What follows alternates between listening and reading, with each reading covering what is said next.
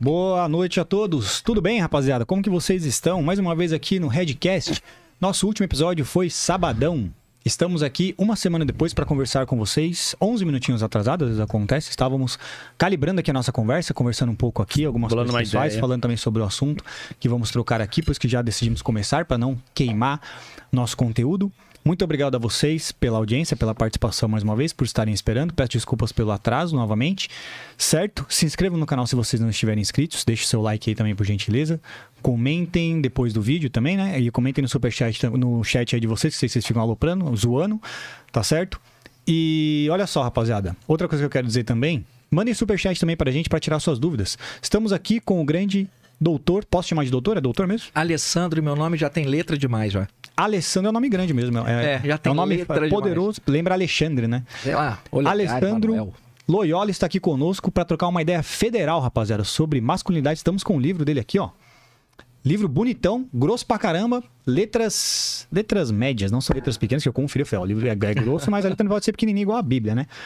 Então vejam só vocês, página toda preenchida, sem dúvida tem bastante conteúdo e hoje vamos conferir aqui se o conteúdo é bom também através das ideias que vão trocar com o senhor Ale- Alessandro aqui, meu, certo? E é isso, rapaziada, meus agradecimentos a todos vocês, obrigado Júnior também pela presença, tamo junto. Salve, Miguel. Boa noite. Boa noite. Boa noite aí, galera. Satisfação de estar aqui mais uma vez, mais um sábado à noite aqui, de conversando do Redcast. Vocês que estão aí em casa, vocês que estão aí na academia, vocês que estão assistindo ao vivo ou vão pegar a reprise, agradeço demais a participação de vocês. Todo mundo que tá chegando agora já sabe, né? Nós temos aqui o nosso canal para você se inscrever. Também na descrição nós temos o canal do Miguel Atitude Alfa, só você clicar no arroba. E no meu também, sobre mundo intelectual. E o nosso canal de cortes do Redcast para você acompanhar os melhores momentos dessa conversa e de outros momentos, não é verdade? Perfeito. E é o- isso aí. hoje o legal é que pela primeira vez nós temos alguém aqui que vai advogar, né, contra certas coisas que a gente acredita, outras coisas não, não tanto, né? Vai Certo. concordar, mas aqui nós temos uma pessoa que abertamente fala sobre casamento, né? E que um homem deve realmente estar preparado para assumir, eh, dar esse passo na sua vida, não é verdade? Não coloque na minha boca as coisas que eu não falei. O cara, o casamento é uma opção para a existência do homem. Mas se ele não quiser casar, ok, tudo bem. O que eu vejo muito dessas agendas que estão surgindo aí, que, que eu chamo de pseudo-masculinidade, é querer decidir pro cara, ao invés de dar as ferramentas para que ele decida. Uhum. deixe que o cara decida. Se ele quiser casar com uma mulher que tem filhos, cara, louvável, parabéns. Se você. Recentemente a gente estava vendo no- um caso aí, saiu na, na mídia, em, em capa de revista, de um rapaz que casou com uma moça, que ela estava grávida. Ela teve um filho, que não era dele. Ele todo bobo foi lá, orgulhoso, bobo no sentido orgulhoso, né? Feliz. Foi lá e botou numa rede social a foto dele com o bebê e a mãe no momento do nascimento. E da criança. E o pessoal sentou o cacete no cara. Ah, porque você é o cuco, você tá, tá assumindo, tá assumindo o filho de outra pessoa. Vamos, vamos pensar um outro cenário. Se ele tivesse casado com essa moça e depois sem filhos, ela não tem filho nem ele. Tá. E mais tarde eles descobrissem que eles têm um problema de fertilidade. Infelizmente a gente não consegue ter filhos. Eles adotassem uma criança, eles optassem.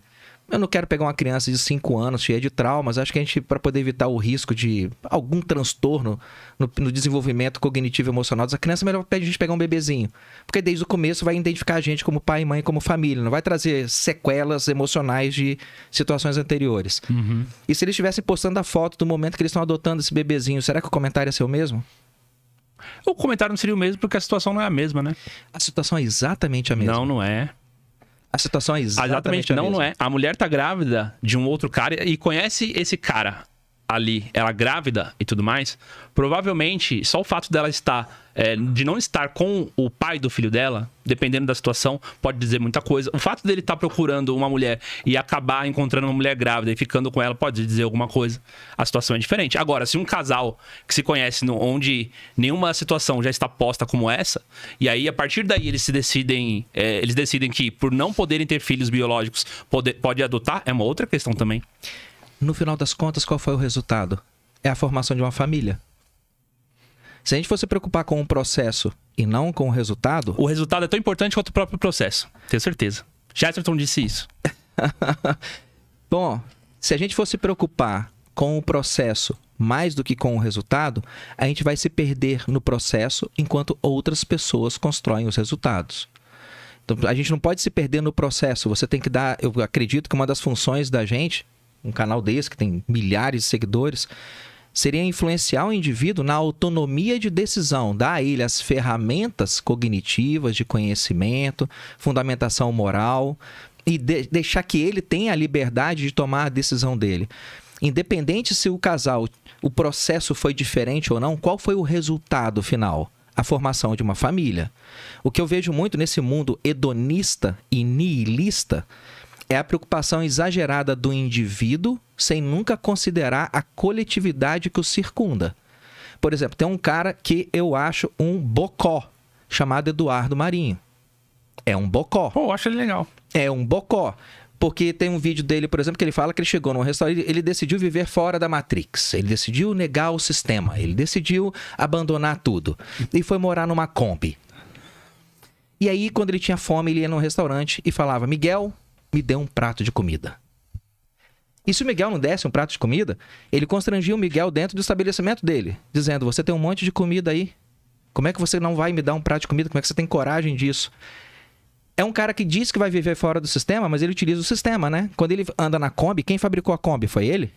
Quando ele abastece a Kombi, quem foi que levou a gasolina até o posto? Foi ele? Quando ele vai no restaurante do Miguel pedir um prato de comida, o Miguel tá lá contratando garçom, cozinheira, pagando imposto, taxa vai caçar, pra prefeitura. Né, já que você quer ser da Matrix, né? É, é muito. da Matrix vai pro mato, Vai planta caçar, comida lá. vai- vai- é, plantar, muito, vai. é muito cômodo você se dizer fora da Matrix, mas você utilizar da Matrix aquilo que lhe convém. É muito Certo. cômodo, é muito cômodo. Mas- Mas que a gente, a gente deveria dar para esses meninos a ferramenta para que ele trabalhe dentro da Matrix, para ele alcançar o resultado que ele quer. Eu, se, a, se a gente estiver no litoral norte de São Paulo, vamos pensar, você está aqui em São Paulo, eu estou em São José dos Campos e a gente tem outro sujeito que está lá em Taubaté. A gente vai marcar de se encontrar em Caraguatatuba. De repente vocês sobem aqui, desce para Santos e pega litorânea em sentido norte. O cara que está lá em São José dos Campos desce pela Tamoios, o cara de, de Taubaté desce pelo Oswaldo Cruz. São caminhos diferentes, não são? Sim. Como é que a gente se encontra no mesmo lugar? porque Sabendo a porque direção. o resultado era vamos nos encontrar em Caraguatatuba. Mas, mas um pode chegar com o carro todo destruído por causa do caminho, e o outro pode chegar com o carro Boa. boa, entendeu? Pode acontecer. Se o cara tiver as ferramentas necessárias para poder lidar com o processo, ele vai conseguir constituir uma família e vai conseguir dar sequência à nossa espécie nesse planeta. A- essas agendas todas de, de. Se vocês começarem realmente a prestar atenção no macro ao invés do micro, vocês vão ver que essas agendas PUA, MGTOW, Alpha, Red Pill. Sigma, Red Pill, todas elas estão servindo ao mesmo inimigo ao qual elas se dizem combater. É o mesmo inimigo, é a mesma agenda. Se a gente tem o Que é tipo o quê? redução populacional. Se você tem o feminismo de um lado, afastando as mulheres dos homens por meio de uma agenda de medo e ódio, e você tem como uma terceira lei de Newton esses outros movimentos, MGTOW, Red Pill, o que for, afastando os homens das mulheres segundo uma agenda de medo e ódio, o que, que você vai produzir na sequência? Isso tá no seu livro. menos crianças. Esse ano, 2022, de janeiro até outubro, nasceram 10% menos crianças no Brasil do que no mesmo período em 2018, por exemplo. Isso é redução populacional. E você acha que isso é impacto do Red Pill e Migtal? Oi? Você acha que isso é impacto da Red Pill e do Não, não, eu digo que a agenda de redução populacional, ela vai atuar segundo como se fosse uma, um polvo, segundo vários tentáculos. Você vai ter o tentáculo da desconstrução de tradições religiosas, de tradições morais. Você vai ter esse impacto da cultura para tornar as pessoas infantilizadas o resto da vida, né? Você vai ter um adolescente de 50 anos de idade, vai ter essa agenda feminista, vai ter essa agenda da machosfera, vai ter a agenda de aplicação de substâncias experimentais em massa, vai ter a agenda da fome, vamos diminuir proteína, vamos fechar, vamos a Holanda está lá querendo caçar a- a- o direito de terra de mais de 500 fazendeiros. Isso tudo faz parte da mesma agenda. Se você for lá atrás, tem, tem dois livros que eu acho interessantes. Um deles é de 68, Paul Ehrlich, chama The Population Bomb, a bomba populacional. Eles defendiam já naquela época, livro sério, sério. Nesse livro, os caras já defendiam que o planeta só poderia sustentar 1 a 2 bilhões de pessoas. Um pouquinho mais tarde, o Clube de Roma, em 72, publicou um livro chamado Os Limites do Crescimento. Dennis e Dana Meadows são os autores do livro. Tá, e aí. Mas foi- o, o- é, só fazer um comentário sobre a questão do que você falou, para mim parece parecido do Eduardo Marinho sobre a conveniência. Também, por exemplo, mulheres que são mães solteiras, eu já tenho um filho como no caso do Júnior, também tem uma conveniência de usufruir coisas que são interessantes da masculinidade ou do recurso com o propósito de ter uma família, entendeu? Ou das feministas, por exemplo, que querem usar dos dois mundos. Um pouco do tradicionalismo, do que a masculinidade é positiva, mas o que não é, para mim, eu considero como machismo, e que acaba sendo uma hipocrisia e uma conveniência. E, e outra coisa, sobre essa questão de, de MGTOW, etc, e Red Pill, o que eu vejo é assim, é uma coisa que eu sempre destaquei, o MGTOW ele não é contra o casamento, ele é contra o casamento feminista que nós temos hoje, pela perspectiva deles, que eu concordo, acima de tudo pela influência nas leis e que as mulheres influenciadas pela cultura feminista. Então eles não são contra casar, eles são contra casar com uma feminista. Por isso que eles também Eu evitam sigo e o consideram... próprio casamento feminista. né? Ok. Eu sigo essa com mais atenção desde 2015. Tá. 2015, 2016. Eu criei, um- na época, o Facebook, que era o grande lance, né? Criei alguns grupos lá. É, Tem um grupo nosso que tem, sei lá, 55 mil pessoas no grupo. Criei uma página na internet. Eu publicava muitos artigos no grupo, aquilo acabava ficando perdido. Aí eu fui criar uma página, menhoodbrasil.com.br, onde escrevo, pego esses artigos que eu escrevo e publico lá. Tem mais de 600 artigos, a, a página na internet deve ter uns seis anos. Eu estudo pra caramba isso aí. Já fui, para poder escrever o livro, por exemplo, eu frequentei esses grupos MGTOW de, de rede social e fui faz, fiz um gráficozinho lá no Excel. Qual tipo, qual- quais os comentários que mais aparecem, quais são os temas mais recorrentes. O que eu vejo muito é o pessoal falando disso pelo que eu sinto em relação a tal assunto, mas você não foi lá pesquisar objetivamente, você fez algum levantamento estatístico dessa população? Ela simplesmente não existe. Na maior parte desses grupos aí, o que eu vejo, sinceramente, apesar desse discurso bonitinho, não é ódio. Ódio e medo. É só isso que tem. É, tem certeza? Existe a teoria... Existe a- 90% do conteúdo desses grupos, dessa machosfera, eles estão relacionados a ódio e medo. Eu desafio qualquer pessoa a fazer um estudo científico sério, fazer o que eu fiz. Frequenta um grupo desse durante um mês, frequenta outro grupo durante Isso tá um no seu mês. livro. Tá no livro. Tá. Pesquise esses grupos. E de um modo como você fosse um cientista analisando uma colônia de ratinhos, igual o Colhoun fez na década de 50. Como se você fosse um cientista analisando a comunidade de ratinhos. Quais são as emoções que prevalecem esse- nesse grupo? Qual é a incidência de comentários positivos ou negativos? Eles não se apoiam tanto assim. É como se você tivesse que assumir um determinado comportamento. E se você fizer um comportamento que aquele grupo não admite como sendo valoroso, você é chutado para fora antes de qualquer possibilidade de compreensão ou entendimento. É medo e ódio. É o que tem nesses grupos. Sim, é, olha só... E pô, quase com certeza, a quantidade de comentários que vão aparecer abaixo desse vídeo quando ele estiver na internet apenas vão corroborar meu argumento. É assim, o que eu vejo, é, existe a, a ideia MGTOW e eu percebo que existe muito do que, como ele se aplica na prática e de muito também eu noto também esse comportamento de, de muitos homens no sentido de ressentimento, é, ódio, não só MGTOW, Red Pill, na machosfera em si, né? Ressentimento, ódio e medo, ok? Mas o exemplo que eu trago para conseguir explicar isso é que é uma consequência é um sintoma de um câncer. O que deve ser combatido, na verdade, não é o sintoma, é o câncer em si.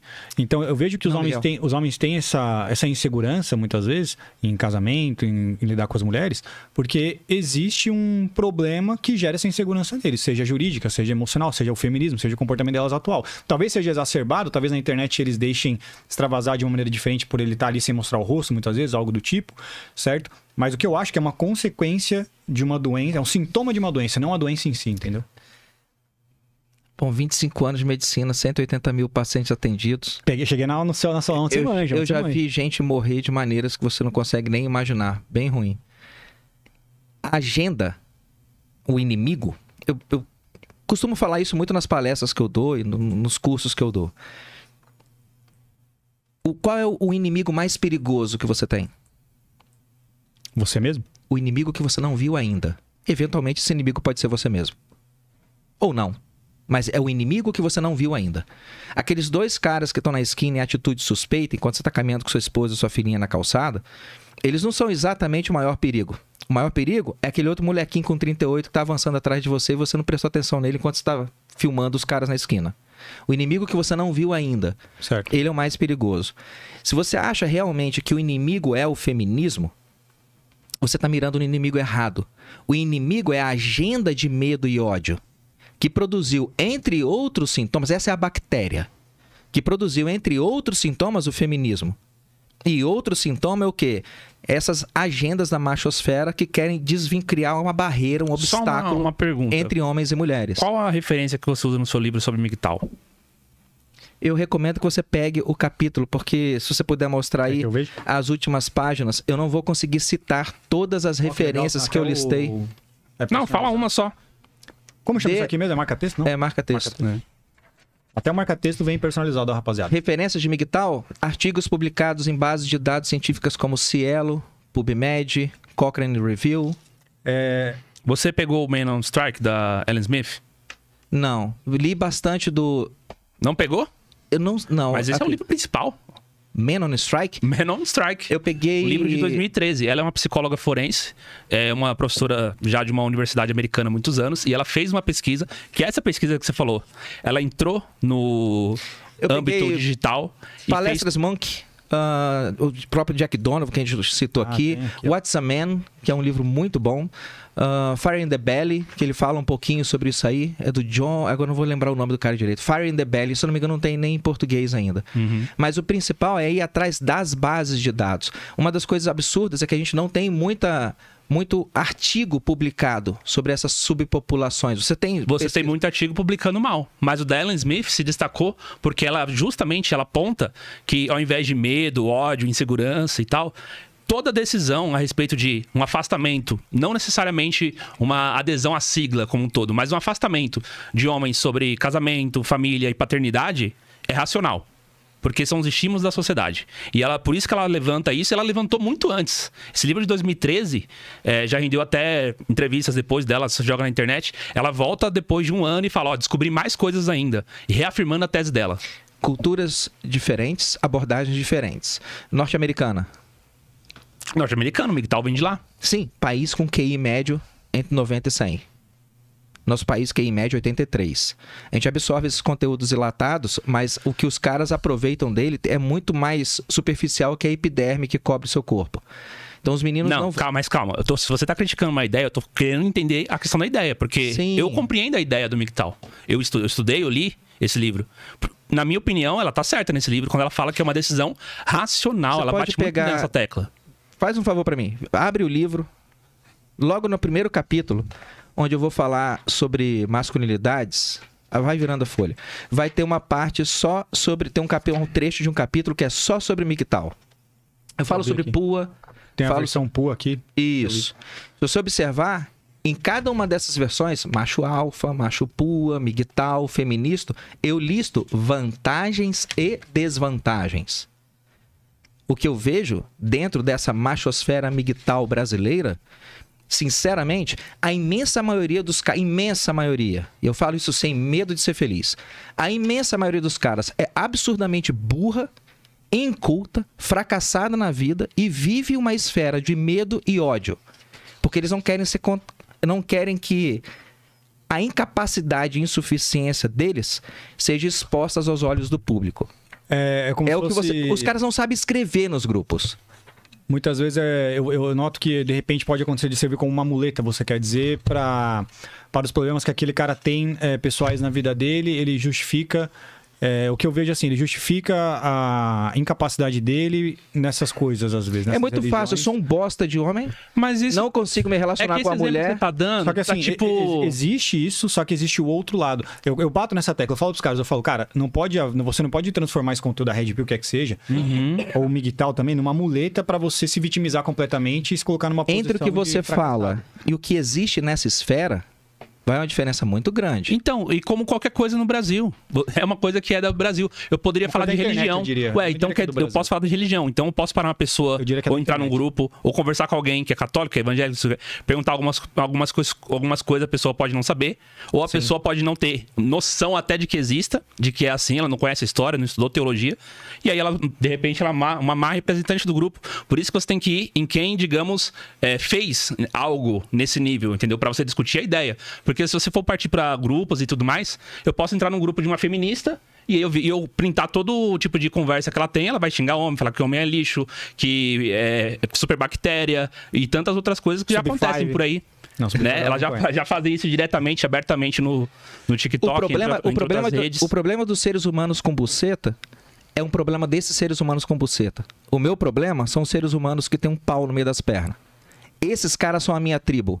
E esses caras é que eu acho que deveriam estar se elevando, ser cavalheiros independente do contexto. O contexto não deve fazer o homem que você é. Você é o homem que você é. E aí você aplica aquele homem no contexto. Mas se os caras começam a reagir muito mais do que agir, isso não é um padrão de comportamento masculino. Sim, eu vou concordo. reagir aos estímulos? Sim, sim. Então, se a mulher me trata mal, eu vou tratar ela mal. Primeira coisa, por que, que essa mulher tá fazendo companhia pra você aí? O que, que ela tá fazendo do seu lado? O que, que você tá fazendo nesse lugar? Você não tem filtro pra poder escolher suas companhias, não? Então, é exatamente o que eu tento trazer para os caras na, na minha vertente, justamente por isso que eu estou dizendo. Muitas vezes a diferença pro remédio e veneno é a dose, nesse caso. Aqui é parecido. Existe essa vertente desses caras que estão agindo por impulso. Eu vejo, eu vejo mais na internet, eu justamente eu tenho essa visão para mim de que é uma coisa. O Júnior falou do Brasil. Na minha, pra minha opinião, na internet, eu acho que as pessoas na internet têm uma, uma outra personalidade. Elas falam coisas que às vezes elas não diriam, se ofendem com coisas que elas não se ofenderiam e ofendem através de, de falas que elas não diriam na vida real. Então, acho que na, na internet as pessoas são diferentes. Mas o que acontece?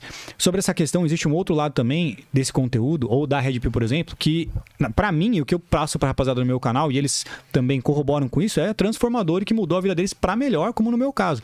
Uma- houve uma fase em mim também de ressentimento, de raiva, que não houve consequências severas na minha vida ou na vida de mulheres. Mas, por outro lado, o resultado positivo que eu tive na minha vida com esse conhecimento, de me entender sobre é, masculinidade, de entender melhor sobre ter autoconhecimento sobre a minha biologia, a minha posição no mundo o meu valor, transformou minha vida para melhor, definitivamente. Então, há esse lado também que definitivamente tem chamado a atenção dos homens. Eu concordo. Só que quando você frequenta esses grupos essas comunidades da machosfera, seja no Reddit, seja no YouTube, ah, Cos TV, qualquer lugar que você vai atrás e pesquisa, esse pessoal GetTR, bom perfil, o que for, Facebook, não é o padrão. O que eu observei é um padrão cognitivo muito baixo. É um padrão de estabelecer um, uma, um, um valor, uma qualidade para você muito baixa. Tudo bem, existem as mulheres eh, que são feministas e as mulheres que não valem nada. Mulheres não valem nada. Basicamente o que esses caras falam nessas redes. Eu posso chamar sua avó de puta? Eu posso falar que sua mãe é uma vagabunda? Porque afinal de contas ela é mulher e você tá falando que mulher não vale nada. Mas não são mulheres modernas. Concorda? Mulheres são mulheres e homens são homens. Mas Se existem- homens são homens de- e dá pra você diferenciar. Júnior, você tem quantos anos, filhote? 33, Minha filha tem 31, certo? Certo? O classifica moderna pra mim é o quê? De 10 anos pra cá? Não. 60 pra cá? Não, eu, eu, eu prefiro ca- ca- classificar. Classifica uma mulher moderna. A mulher moderna nasceu quando? Não, não é nem quando ela nasce, é mais pela questão do, do- da psicologia dela. Tudo bem, a psicologia dela, ok, o comportamento dela foi Ela tem filtrado liberdade sexual. décadas? Ela tem liberdade sexual e carreira andando juntos desde a época da juventude até a fase adulta. Ok, sua mãe tem quantos sexual, anos? Quê? Sua mãe tem quantos anos? Minha mãe tem 50. Bom, ela tem, tem a mesma 53. idade que eu. Nasceu aí em torno de 60, 70. Isso. Então ela foi submetida a essas agendas, não foi? Psicologicamente que ela cresceu dentro dessa agenda. Ah, você fala de que quando ela já quando ela nasceu já existia. Ela pode ser classificada como uma mulher moderna? não, que ela não cresceu aderiu. dentro? Ela não aderiu. Então, moderna tem a ver com comportamento. Foi não o que eu tem a falei. ver- Não Tem tem a ver com o psicologia período. dela, é do indivíduo. Não é com o contexto generalizado. Pois é, só que, se a gente Conversa colo- boa, conversa eu gosto assim. só que se a gente colocar moderno dentro desse parâmetro, Ele Vai- tem que conhecer o professor Afonso, velho. Tudo que ele tá falando aqui já foi, já foi colocado. Bora. se você Você colocar. conhece o professor Afonso, né? Ciência da Verdade? Casamento de verdade, né? É, não, porque o Casamento de Verdade talvez ele não conheça que é um canal menor, né? Ah, ele tem dois canais? É. Tá, fala pra mim, eu, não, eu direciono muito o que eu consumo na internet. Professor Afonso, conhecido como Ciência da Verdade, ele fazia muito é, conteúdo a respeito. Não, não posso nem falar muito, mas enfim, um dos temas é terraplanismo e tal. Ah, sei que mas ele também falava de outras questões. Sei assim, que é bobo demais, pelo ele, amor mora, de ele Deus. mora nos Estados Unidos, se eu não me engano, também. Acho que pelo Pelo amor de Deus, bobo. Eu, eu cheguei, me recomendaram que eu vi isso. Eu fiz um post no meu canal do Telegram sobre Terra plana e brotou, parece que por gerações espontâneas. Então, essa é a parte que não é tão legal. De repente você, você não vai gostar tanto. Mas o que ele fala sobre relacionamento. É, eu tentei, eu tentei ver alguns vídeos dele lá, acho que eu vi uns três vídeos, aí eu cansei. Não tem como. Ma- Mas o Você, que... é, você é médico, certo? Você conhece a The Wall? O que, que você acha da The Wall? Parede da fertilidade feminina? É. Desconheço. Não conhece? Conhece? Explica. Pô, você falou que pesquisou sobre Red Pill, hein, mas a gente tá pegando você no pulo, cara. Opa! Por isso que eu vim aqui. Vamos colaborar para a construção Vamos. do conhecimento com entendimentos diferentes. Certo. Quantos pacientes com que têm a síndrome do MGTOW, sensação de indiferença, de ser relegado pela sociedade a um segundo plano, de não conseguir lidar com mulheres, quantos pacientes desses você dosou testo? Quantos pacientes desse, Júnior, você fez tratamento de reposição com teste Não, injetável ou clomifeno, acompanhou o eixo hipotalâmico hipofisário dele durante um ano para poder ver a resposta comportamental depois que você colocou ele no nível ah, considerado adequado? É, você não tem esse conhecimento. Eu tenho. É para isso que a gente está aqui. Sim. Vamos trocar os conhecimentos. Tudo bem, você está envolvido dentro de uma esfera da masculinidade que talvez eu não tenha colocado os pés tanto assim. Ok, mas eu também estou envolvido numa esfera que vocês não colocaram tanto o pé assim. Eu, eu já estou lidando com esse negócio aí, já tem o quê? Dentro da medicina, porque você, entra, você acaba entrando na família. Você acaba entrando no núcleo e você vê o tanto que uma figura masculina fraca ou ausente causa de dano ao núcleo familiar. Concordo. Isso concordo. E um dos papéis que eu fazia no consultório era o quê? Pedia pro cara depois voltar para eu bater uma conversa com ele no consultório.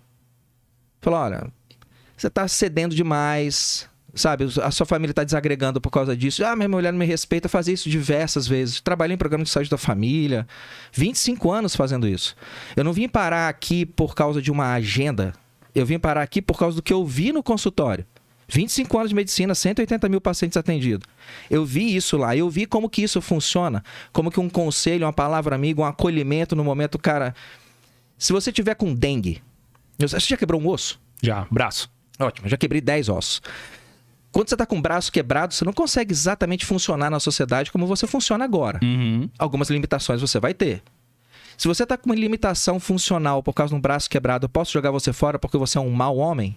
Não. Fala, não, espera, calma, o braço do cara vai consertar e daqui a pouco ele volta, ele precisa desse período.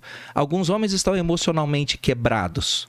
A saúde emocional masculina é um, é um grande problema que a gente É, aborda aqui mesmo. Eles estão emocionalmente quebrados. Não é que aquele cara é ruim, um homem ruim, um homem fraco, um homem beta, dê lá o nome do caralho que vocês quiserem. É só que aquele cara precisa de alguém que cuide daquele osso. Fala, filho, ó, vai doer um pouquinho, eu vou colocar no lugar, tá? Aí depois eu vou te dar um analgésico, eu vou colocar esse. Você não vai mexer esse braço aqui durante 45, 60 dias. Quando você tirar o gesso, você vai ter que fazer uma fisioterapia porque a musculatura vai estar atrofiada. Mas eventualmente, você seguindo essas orientações, você recupera o movimento O do que braço. você tem mesmo é uma preocupação legítima. É isso que você tá querendo dizer. Isso. Concordo. O que que acontece com esses esses movimentos MGTOW que eu Mas vejo? deixa eu só fazer um parênteses Ah, aqui. Eu tô com o seu livro aberto aqui na página 52. E você vai falar dos incels, por exemplo. Isso. Tá. Vamos lá. Os membros dessa parte da manosfera, em geral, são homens entre 16 e 30 anos de idade, muitos ainda morando com os pais, cujo foco principal consiste em denunciar com grande veemência o modo como as agendas feministas perpetuam seu insucesso entre as mulheres. Eles querem relacionamentos, querem sexo, mas não conseguem. Insatisfeitos e marginalizados no teatro dos encontros amorosos, culpam as mulheres. E aí você põe assim, ó, de novo não, por seus fracassos. E aí, enfim, você continua, você vai falar sobre a existência, são muitas pessoas e tal. Mas assim, o que eu, o que eu tô sentindo é que, diferente, por exemplo, de um cara como o Jordan Peterson, Jordan Peterson, ele ele foi colocado numa entrevista, que ele até se emocionou e chorou. Sim. Por quê? Ele foi colocado como, ah, então você é o herói dos incels. E tava todo mundo rindo, fazendo E ele, chacota. e ele se emocionou e, ele- falou: sim, então ele eu sou. assumiu. Se é pra defender esses meninos, sim, eu sou. Sim. Só que uma das coisas que você tem que fazer. Eles irritam a gente, mas a gente gosta de vocês. Se você chegou pra mim num pronto-socorro com Uhum. um braço quebrado, com osso pra fora, mesmo aplicando anestesia em você, ou, ou naquela hora, se você tiver com um sangramento muito grande, pra estancar aquilo, cara, eu vou ter que enfaixar seu braço. Eu já trabalhei, sei lá, 12 anos no SAMU, atendendo na rua. Não dá tempo ali, o cara tá com sangramento, você não tem como ficar aplicando anestésico, morfina, até que o enfermeiro pega o- a medicação pra você tirar a dor do cara, o cara tá sangrando, cara, você vai pegar uma tala e vai fechar aqui. Fala, irmão, vai doer. Vai doer, mas se eu não, não estancar isso aqui, o sangue que está em cima do osso quebrado, você vai perder sua vida aqui. Então, algumas vezes o tratamento de mais, mais curto prazo, mais imediato, ele causa mais sofrimento no cara. Mais sofrimento. Se, for- se você tiver com apendicite, você está com a dor danada. Sabe como é que eu vou tratar a sua apendicite? Eu vou meter uma incisão de uns 10 centímetros na sua barriga, botar seu intestino para fora e arrancar o que não está prestando. Parece que eu tô matando você, né? Você já fez ressuscitação cardiopulmonar em alguém? Não. parece que você tá matando a pessoa. O cara já tá sem respirar, você tá lá montado em cima dele, apertando o peito dele dois centímetros e Eu meio. vi. Uhum. Quem olhar de fora e não sabe o que, que tá acontecendo, fala assim, porra, o cara já tá ruim, sofreu um acidente, você ainda tá massacrando ele. algumas vezes o início do tratamento É exige algum, exige algum grau de sofrimento. Eu vejo que o primeiro grau de sofrimento que esses meninos precisam é de alguém que pare de legitimar o comportamento deles e fala: isso não vai levar aonde você gostaria de ir. Não vai te levar. Esse comportamento de ódio, de querer sair por aí dando tiro nos outros, de querer falar mal da mulherada toda, isso não São- vai te levar. coi- Aí é que tá, viu? É, Isso não. Isso É, então, São os, os- mas são só que coisas os- que não se conectam tanto. O, o Brasil tem um monte de incel, nos Estados Unidos tem um monte de incel. Se incel fosse pegar em, em armas e atirar nas pessoas, tinha uma- um massacre todo dia Ele, diferente. ele xinga muito na internet, mas é o que eu falei, na vida real é diferente, sabe? É um cara tímido. É, então, na, na vida real, esses caras, até inclusive, por isso que eu estou dizendo, existe uma diferença muito do que realmente você vê nos comentários, seja em grupo, seja na internet. Só que na prática, o que eu observo desses camaradas é que eles estão focados no que é muito bom para a vida do homem, cara. Normalmente, se você trocar uma ideia com até o cara que é incel ou migtal, ou o cara que teve acesso a esse conteúdo está na machosfera, é unânime, né, na maioria das vezes, eles estarem seguindo o mesmo posicionamento de investimento pessoal acima de tudo. Do cara tá treinando, tá tentando fazer mais grana, tá tentando ser mais responsável com as contas dele, com o que ele ganha e tal. Aí vai na internet, ele vai lá, xinga, enche o saco, você é uma puta, você não sei o quê. Depois porque vai A cultura da internet é assim, é de xingar as pessoas. Na Os- prática, xingam a gente. cara,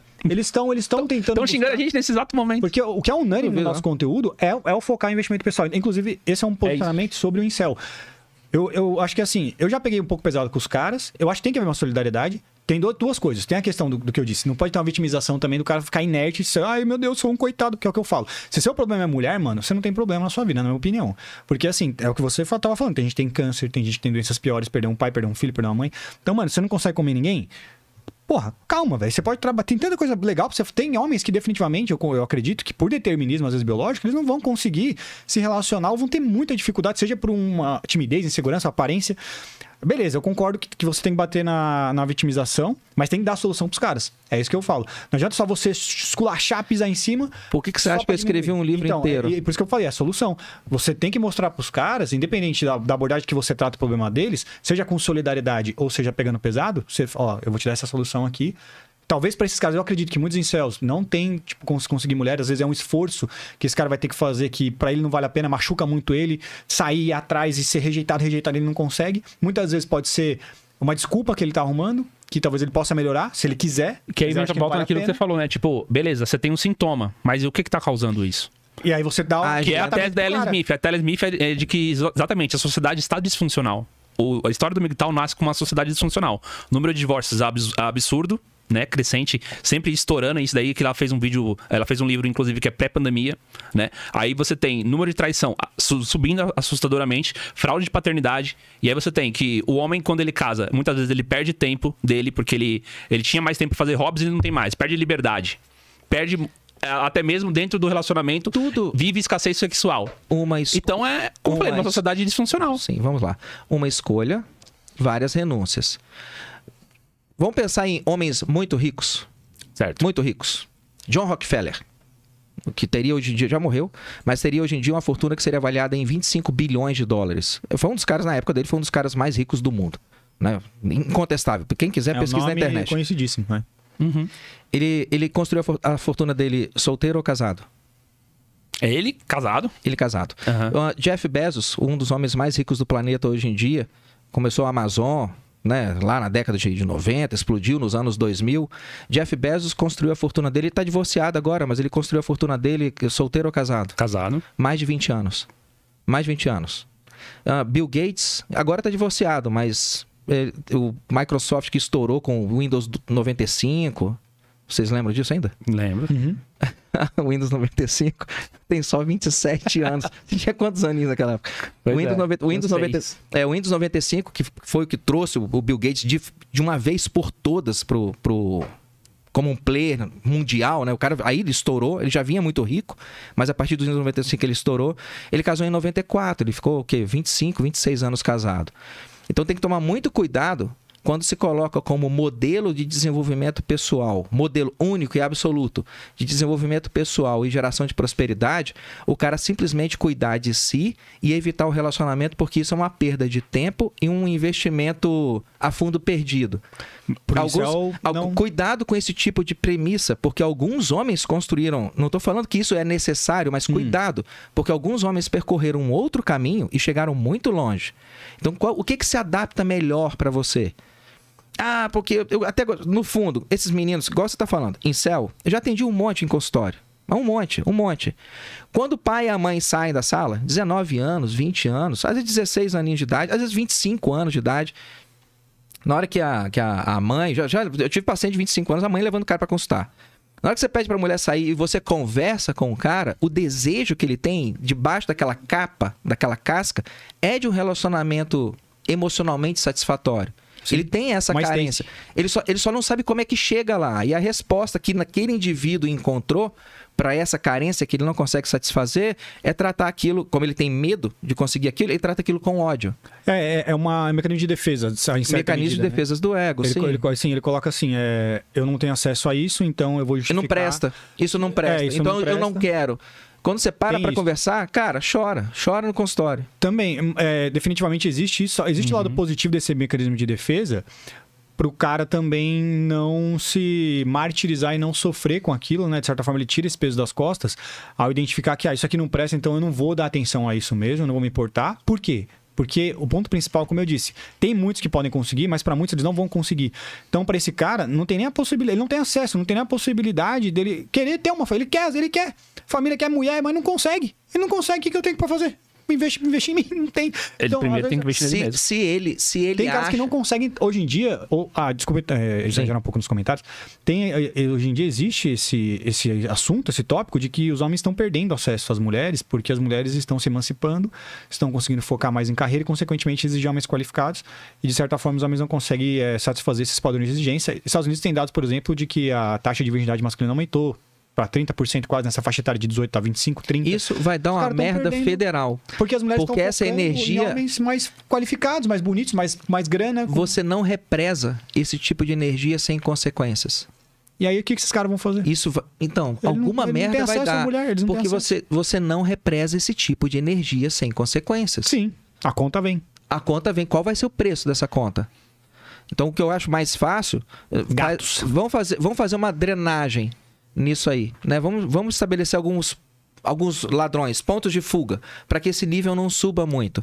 Será que você realmente não tem condição de conseguir um relacionamento romântico significativo para você?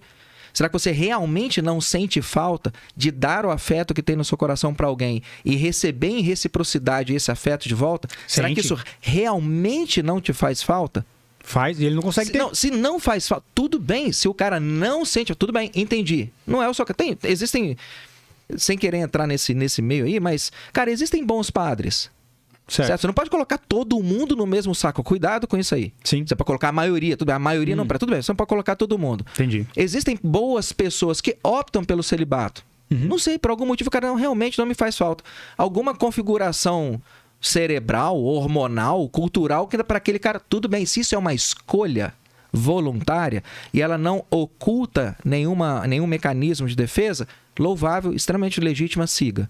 Mas se aquilo, se aquela escolha sua, na verdade, ela tá só tampando uma lava que tá querendo brotar, cara, isso vai dar uma explosão um dia. Certo. E para esse indivíduo, não vou nem pensar em termos de sociedade, mas para esse indivíduo, essa explosão pode ser um derrame, pode ser uma hipertensão, pode ser uma síndrome coroniana, um infarto, um câncer, um suicídio.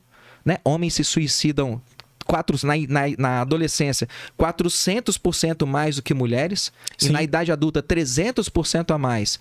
Essa, ah, homens representam mais eu, ou eu menos acho que o feminismo está relacionado diretamente a esses dados. homens representam mais ou menos 49% da nossa sociedade. O principal motivo pelo qual os homens tiram a própria vida, na minha opinião, é falta de mulher e falta de dinheiro. Dinheiro. 49% da nossa sociedade brasileira que é constituída por homens. Uhum. Mas homens representam mais de 95% das pessoas que estão na cadeia. Uhum. Testosterona. Para onde, entre outras coisas, para onde que tá indo essa energia? Exatamente essa energia de frustração, que algumas vezes o cara, se ele tivesse uma resolutividade emocional melhor, ele não precisaria de tanta coisa. O carro, o curso, o dinheiro. O dinheiro é bom, mas dinheiro não é tudo. Não. Não é tudo. Propósito é mais importante.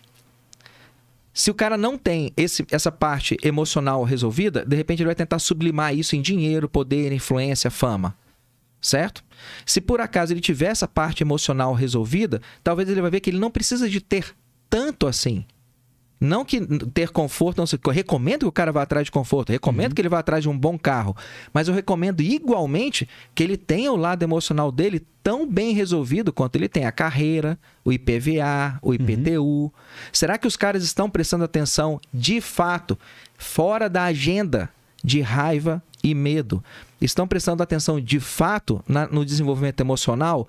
Ou eles colocam isso tudo, blindam isso dentro de uma esfera de aço, de titânio, e simplesmente fala que as leis são misândricas, as mulheres não prestam, eu não quero casamento, casamento é perda de tempo, filho é um investimento a fundo perdido, para que, que vale isso? Melhor investir em você mesmo. Será que eles estão falando, fazendo isso de um modo Mas o legítimo? investimento pessoal pra- passa pelo, pela, pela questão da inteligência emocional. Passa. Passa por você ser um cara. Pra você não ser um cara reativo, inseguro. Por exemplo, alguém te confronta em alguma coisa, você. Ah, então é assim, você já levanta. Tudo isso é muito Já escalona pra uma Foi briga. o que eu disse. Essas coisas foi eu aprendi com a Red Pill, cara. Eu- É. Meu, a Red Pill me trouxe um conhecimento sobre essas coisas que eu olhava e falava, velho, caralho, hoje eu tenho muito menos estresse, muito menos dor de cabeça. Eu não discuto, seja com mulher, seja com homem. O que eu falo pros caras, inclusive, que querem É isso. garoto, porque, porque o meu posicionamento no meu canal não é anti-relacionamento e tal. Eu, eu- é o que eu digo, eu tenho meu posicionamento sobre isso, uma militância de leve, mas o que eu faço é justamente eu dou o veículo pro cara e o cara vai pro caminho dele. Se ele quer casar, eu sempre falo isso no meu canal. Tem alguns conteúdos que não são assim, que eles são bem militantes e direcionados a você. Não vai casar, você não vai. Você já viu a quantidade de audiência que esses conteúdos têm? Ah, Sim. é, que, é porque Então, por isso que é a manosfera não é uma coisa só. É o câncer. O câncer quer dizer que tem um problema ali. Se o cara tá dando atenção pra gente, aí não é a gente que é o problema. Você tem que bater no problema, porque os caras estão. Por que, por que os caras estão dando os ouvidos pra gente quando a gente fala reclama de mulher, não sei o quê? Porque eles estão passando por problema com elas. Casamento, relacionamento, Porque eles traição. na validade, né? Esse é o problema. A gente só tá comentando sobre esse câncer e explicando os sintomas e tentando acolher esse cara e dar um. É tipo aquela coisa, o que, que vem primeiro? Vem, Não é a gente. Vem, a vem, vem É, teoricamente, é, o cara ouvindo o nosso conteúdo, nosso, entre aspas, né? Ou esse. Pode ser qual Esse é. tipo de conteúdo. Todo tipo, de, conteúdo, vai que vários produtores aí. E aí ele fica reativo e começa a pensar essas coisas, ah, às vezes mesante, que a mulher não presta e tudo mais. Ou ele vê que as mulheres não prestam, que a sociedade tá assim, e, E aí, ele, e aí ele vem procurar conteúdo sobre isso e encontra no nosso canal. É entendeu? isso. É isso. A minha opinião, a minha opinião. É, o, o- o foco do problema é o que o cara tá lidando, vendo, por exemplo, seja uma lei misândrica, seja uma mulher feminista, seja estratégia sexual aberta, hipergamia exagerada, essas coisas, e aí ele vai lá e vai pro- procurar. Pô, por que, que ela não respondeu minha mensagem? Por que eu não consigo match no Tinder? Pô, por que ela me rejeita? Por que eu marquei de sair e ela não deu um pé na bunda? Por que eu tomei o divórcio assim? Aí acha eu, acha o Júnior, acha o Redcast. A gente explica do porquê aquilo tá acontecendo, a gente explica para outros homens que não passaram por aquilo, mas podem passar por que pode acontecer e tenta dar um direcionamento diferente para esses caras, apresentando riscos e soluções para esses problemas que eles vão decidir com essas ferramentas de Isso. conhecimento, né? Pro caminho que eles vão se orientar. E aí ele pode decidir se ele quer relacionamento, se ele quer ficar solteiro, se ele quer Mas, casar. Miguel, você- No nosso, tem outros não, Miguel- mas a gente tem que trazer isso. Você entende que dentro, isso, isso na teoria Isso. é o que é o proposto. Isso.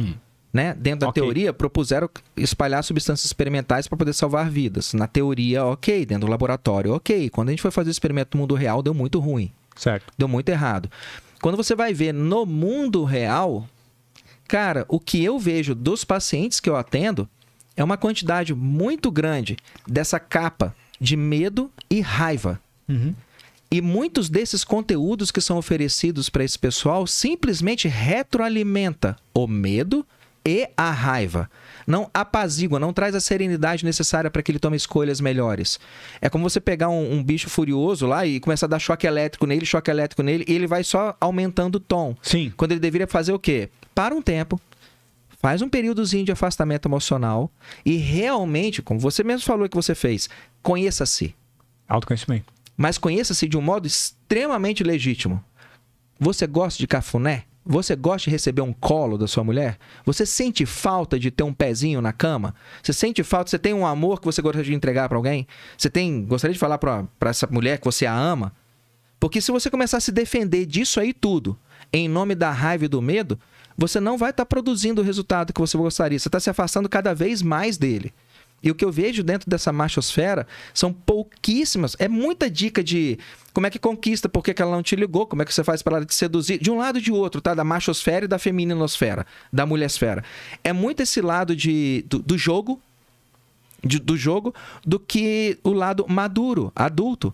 De novo, as pessoas estão dando respostas infantis para problemas adultos. Adultos, cuidar da sua carreira é um problema adulto? É, mas cuidar do seu emocional também é. Se você vai lidar com a sua carreira fazendo cursos se especializando, eu recomendo que você faça o mesmo do ponto de vista emocional. Ah, por que, que ela não me ligou? Primeira coisa, É, como é que você escolheu essa mulher? Não, mas aí é que tá. Por Qual exemplo, você- quais foram os filtros que você essas, utilizou que- para essas escolher ela? questões que a gente coloca também. A gente fala, você, você tá, de repente, levando um, não de uma menina hoje, mas lidar com rejeição. A gente ensina o cara a lidar com rejeição. Excelente. Isso não é um problema. É. É, se o cara, se a menina não respondeu, a gente fala, cara, Eu tô com um vídeo aqui pra falar sobre rejeição. Inclusive, desculpa me interromper, só pra ser oportuno. Eu gravei ele, tô pra publicar, que eu trago lá os motivos pelo qual o homem é rejeitado. Destaco que não é, acima de tudo, pessoal também.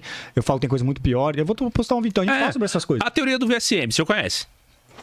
Elucide pra mim. VSM do The Rational Male, que o Roll Thomas fez, é um gráfico que mostra o valor do homem e da mulher, como que ele se difere ao longo do tempo. A partir de, de uma certa idade, o homem, a partir de uma certa idade, a mulher, cada um tem seu pico e, digamos, maior poder de escolha. Então a gente Sim. explica isso. É, é a- é a realidade. Os Mulheres, mulheres homens- entre 20 e 30 anos, homens de, de 30 a 50. Isso, exatamente. Então, por causa da, da, da questão da própria questão do VSM, o cara entende que, tipo, ah, então, eh, de repente, eu hoje, é óbvio que se ele olha pra menina que ele gosta, que tá na, na salinha dele da escola ou da faculdade, que seja, ele vai ver que tem muita eh, oportunidade pra mulher e não tem tanta, tanta pra ele. E na- lá na frente, isso daí vai, vai ser. Sim, se se ele se inverte. desenvolver, ele vai chegar lá. Então a gente lida com a realidade. Tanto que a gente não lida com ilusão. O cara quer se iludir e vai curtir outro canal, vai assistir outra pessoa. Eu, eu não sei Quais são. Quais, o cara vai escolher uma carreira. Vamos dizer, Júnior. Vai escolher uma carreira. O- Quais são os, os três principais critérios que ele coloca na escolha da carreira? É, quanto tempo eu vou levar para chegar lá? Qual a remuneração final É. que ela pode me dar? Se, certo? Essa é uma das principais. Se o cara vai escolher um carro, quais são os três critérios principais que você vai utilizar para escolher seu carro? Ele consome muito, manutenção, peça, vai ser zero, vai ser usado, até quantos anos de uso que eu pego? Concordo. Se você vai escolher uma casa, certo? Se você vai escolher uma mulher para se relacionar, fala para mim quais são os cinco critérios principais e inegociáveis que você tem escrito num papel. Acho que você não vai gostar dos meus critérios, não. Não, mas solteiro. não, não, Júnior. Tem a Júnior. ver com gasto. Não, Júnior, veja, veja, Tá. eu, tenho, eu tenho um amigo, um amigo meu e da minha esposa, que ele não queria. Ele tem o valor dele, Tá. já é médico formado, tem mais de 40 anos de idade, e que ele falou: "Mu- com mulher com filho eu não me relaciono. Isso é estratégia de jogo. Tudo bem, tudo bem, mas vê se você entende. Quais são os cinco? Vamos colocar os cinco. Dentro desses cinco critérios, quantos deles têm a ver com caráter? Não, tem que ter bunda, tem que ter peito, tem que ser gostosa, tem que gostar de sexo, não pode ter filho. Ah, nada disso tem a ver com o caráter do outro. Essa coisa a gente não fala. Que ela tem que. Não, Não, entende? Não, Eu tô falando, não tô falando vocês. É, não, Não, tô então, falando sim, do umbigo de vocês, sei. tô falando da, a da galera da É machosfera. normal, é normal o homem querer. Você- não, eu, querer mais eu, gostosa. eu posso elucidar? Na verdade, são quatro, pra cada lado, tá? Tanto mulher busca quatro coisas no homem, quanto também o homem busca quatro coisas no cara. Eu falo isso no meu curso sobre o VSM. Pra mim, mulher tem que ter carro. Esse é o mais importante. Melhor que o seu ainda, né? esse. é, O Júnior não tem esse. Esse eu tenho nos meus. Tudo Número bem, um. mas vê se você entende que o cara tenha. O cara depois, tem. Depois ele melhora esses critérios. Mas uma coisa que eu peço para ele observar é, dentro dos critérios que você listou, caráter está dentro de algum deles? Porque se você não colocar o filtro, alguns filtros de caráter, você vai estar se relacionando com mulheres que vão te tratar Aí mal. entra no que a gente chama de VRM. Você tem VSM, que é a questão do corpo, aparência, idade, não ter filho e ser uma mulher, né, que, digamos assim, você olha pra ela, além Resistência sexual. É, você olha pra ela, tipo assim, pô, essa mulher tem um passado, um histórico sexual de mais restrição do que de liberdade, entende? Pra deixar. Você concorda com esse Sim. tópico? Eu não vou determinar. não? Eu não, não vejo como legítimo determinar que o cara tenha esses ou aqueles Ah, tá. critérios. Ok. A minha defesa, a minha meu alerta é que ele tenha critérios. Certo. Não vou determinar os seus critérios. Tá. Ok, legal. Certo? Isso aí isso é certo. Não quero determinar seus critérios. A única coisa que eu peço é, pelo amor de Deus, tenha alguns. E pelo amor de Deus, dentro dos seus critérios, coloque alguns critérios de caráter. Se aqui- a a mulher tem que ter bunda, tudo bem, ok. A mulher tem que ter peito, tudo bem, ok. A mulher tem que ter carro, tudo bem, ok. Filho, só faltam mais dois. Tá acabando, Tá né? acabando. Alguma coisa é confiabilidade, lealdade, reciprocidade, capacidade para o diálogo. Uhum. Tem, tem, é, tem algum, algum dos seus critérios que vai explorar o caráter dela? Porque carro, profissão, dinheiro, bunda, corpo, malha, boa de cama, tá- acabou. É, É, o. deixa eu fazer. Você pode, quer- pode falar. Só, só uma coisa. Uma coisa eu, eu- eu gosto de usar exemplos. O senhor trouxe analogias. O senhor trouxe a do carro, casa. É o que eu digo, relacionado com o que o Júnior falou. Muito do que você também vai identificar sobre os seus critérios não pode partir da expressão verbal, na minha opinião. Eu sou, eu falo, eu fiz. Uma empresa não vai contratar você, acima de tudo, pelo que você está dizendo. Ela vai contratar muito você pelas suas referências e pelo seu histórico. Sim. Então, uma das. Eu, eu avalio da mesma forma. Assim como a empresa vai contratar um candidato porque ela vai colocar um investimento naquilo e para ela tem um, uma perda muito grande se der errado, ela depende daquela pessoa, para isso que ela tá contratando, né? O homem tem que ver o relacionamento assim: comportamento, referência. E não só de. Tô falando, os homens às vezes conectam isso simplesmente quando os caras ela deu. Não é só isso. Ela traiu homens no passado, ela mentia muito, ela brigava. Você tá as- colocando Você tá filtro de entendendo? caráter. Comportamento. Então, só que através do histórico, antecedentes, não do que ela disse. Ah, eu não faço, eu não sou. Eu prefiro analisar o comportamento da pessoa do que ela está dizendo.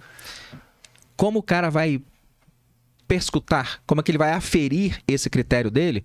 Linguagem corporal, não corporal, conversar com amigos, olhar as fotos que ela coloca no Instagram, né? A mulher é uma narcisista, vaidosa, egocêntrica, só tem foto dela, dela, dela, dela, não tem ela com a sobrinha, não tem ela no trabalho, não tem nada, nunca tem amigas em volta.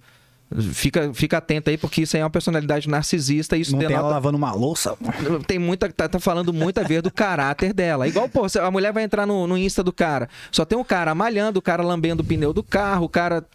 Pô, você não, não convive em família, você não tem orgulho de um trabalho que você fez, alguma ação voluntária que você participou, um Isso. curso que você foi fazer. Porra, tô muito fer- de virtude. é, o cara tá lá, tô aqui num congresso, participando aqui, me especializando, uma foto dele todo orgulhoso lá no congresso, suado, ou num evento de vendas, alguma coisa. Ok, aquilo denota um sinalzinho de caráter. Como que ele vai aferir isso? As ferramentas desse histórico dela de valor, tudo bem. A única recomendação que eu faço para ele, o alerta é: Faça. pelo amor de Deus, tenha critérios e pelo amor de Deus, coloque critérios cavalinho caráter. Porque no final das contas, sabe aonde que o relacionamento vai dar errado? Mesmo, de verdade? Quando você tem um. de- O principal fator, eu falo isso nesse livro e em outro livro que eu escrevi sobre relacionamento. O principal fator de divergência que leva a divórcio é a diferença ideológica. É muito. Pensei que você muito fala dinheiro, pô. Aí a gente ia concordar finalmente. Eu acho que é dinheiro. não, não é. Não é. Vários estudos mostram isso aí. É a divergência ideológica. E eu não estou falando só ideológico em termos de política, não. Ideológico em termos de valores. De repente, a sua mulher não liga tanto para dinheiro e você liga. Então você vai colocar uma ênfase muito grande no seu trabalho, no seu desenvolvimento, em prosperar, em, em investir, e ela não tá vendo, não vê muito sentido nisso. Ela queria aquele dinheiro para vocês poderem viajar. A ideologia, como lidar com a prosperidade é diferente. Você gostaria muito de ter uma família com filhos, você tem se vê como o paizão de todo mundo, e a mulher não quer, não, não vê isso aí, ela não quer ter estria, ela não quer o peito caído, nem nada disso. Há uma, uma visão ideológica diferente no conceito de família. Mas por que que na pandemia, por exemplo, os divórcios aumentaram 160%? Crise financeira, acima de tudo. O principal fator foi dinheiro. É, você, Eu- você eu vai diria- pra, eu pra diria- estatística dos advogados, eles falam que é dinheiro. Eu diria que tem outra, outra coisa aí junto. Agora vocês são obrigados a ficar em casa. Convivência. É, porque violência Aí doméstica. conflito ideológico. Porque violência doméstica também aumentou. Então, algumas vezes, quando eu podia levar a minha insatisfação para outras áreas, jogar bola com os meus amigos, passear com os caras, tomar cerveja, tomar, a minha mulher ia tomar vinho com as amigas.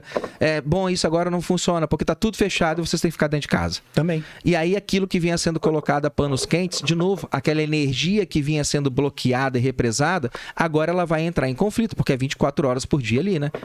Então, ma- mas aí é que tá, por exemplo. Tem que fazer dentro, sexo, mano. Dentro disso daí, dentro disso daí, muitas vezes o que tá reprimido e o que tá. Eu entendo que tem, tem essa questão, às vezes, da convivência, alguns ruídos de comunicação, no- já, tá no- já não tá se entendendo o casal e tal. E aí fica realmente um olhando pra cara do outro 24 horas por dia e fica mais complicado de lidar. Mas imagina também que, mesmo que o casal esteja bem, só que aí perde o emprego, o homem fica em casa. Começa a ter um radar, na- um, um reloginho de uma bomba que vai na, na cabeça da mulher e aquilo explode, uma hora ela pede o divórcio porque, tipo, não dá mais pra, pra gente continuar e é isso aí, o cara não tem o que fazer. Paciência, shit happens. Mas se o o relacionamento deles foi construído segundo uma base de valorização de traços de caráter, ela sabe, ela vai conseguir entender de novo, isso é um mundo adulto, não é um mundo das crianças, é no mundo adulto. Ela vai entender que aquele cara simplesmente está na fase que ele quebrou o braço. Meu homem não perdeu o valor, ele só quebrou o braço. Eu vou esperar um tempo, ele vai recuperar o braço e ele volta pro trilho onde ele estava Mas a- agora, agora vamos mudar um pouquinho aqui. Beleza, a gente falou dos homens, dos homens, dos homens, dos homens. Beleza.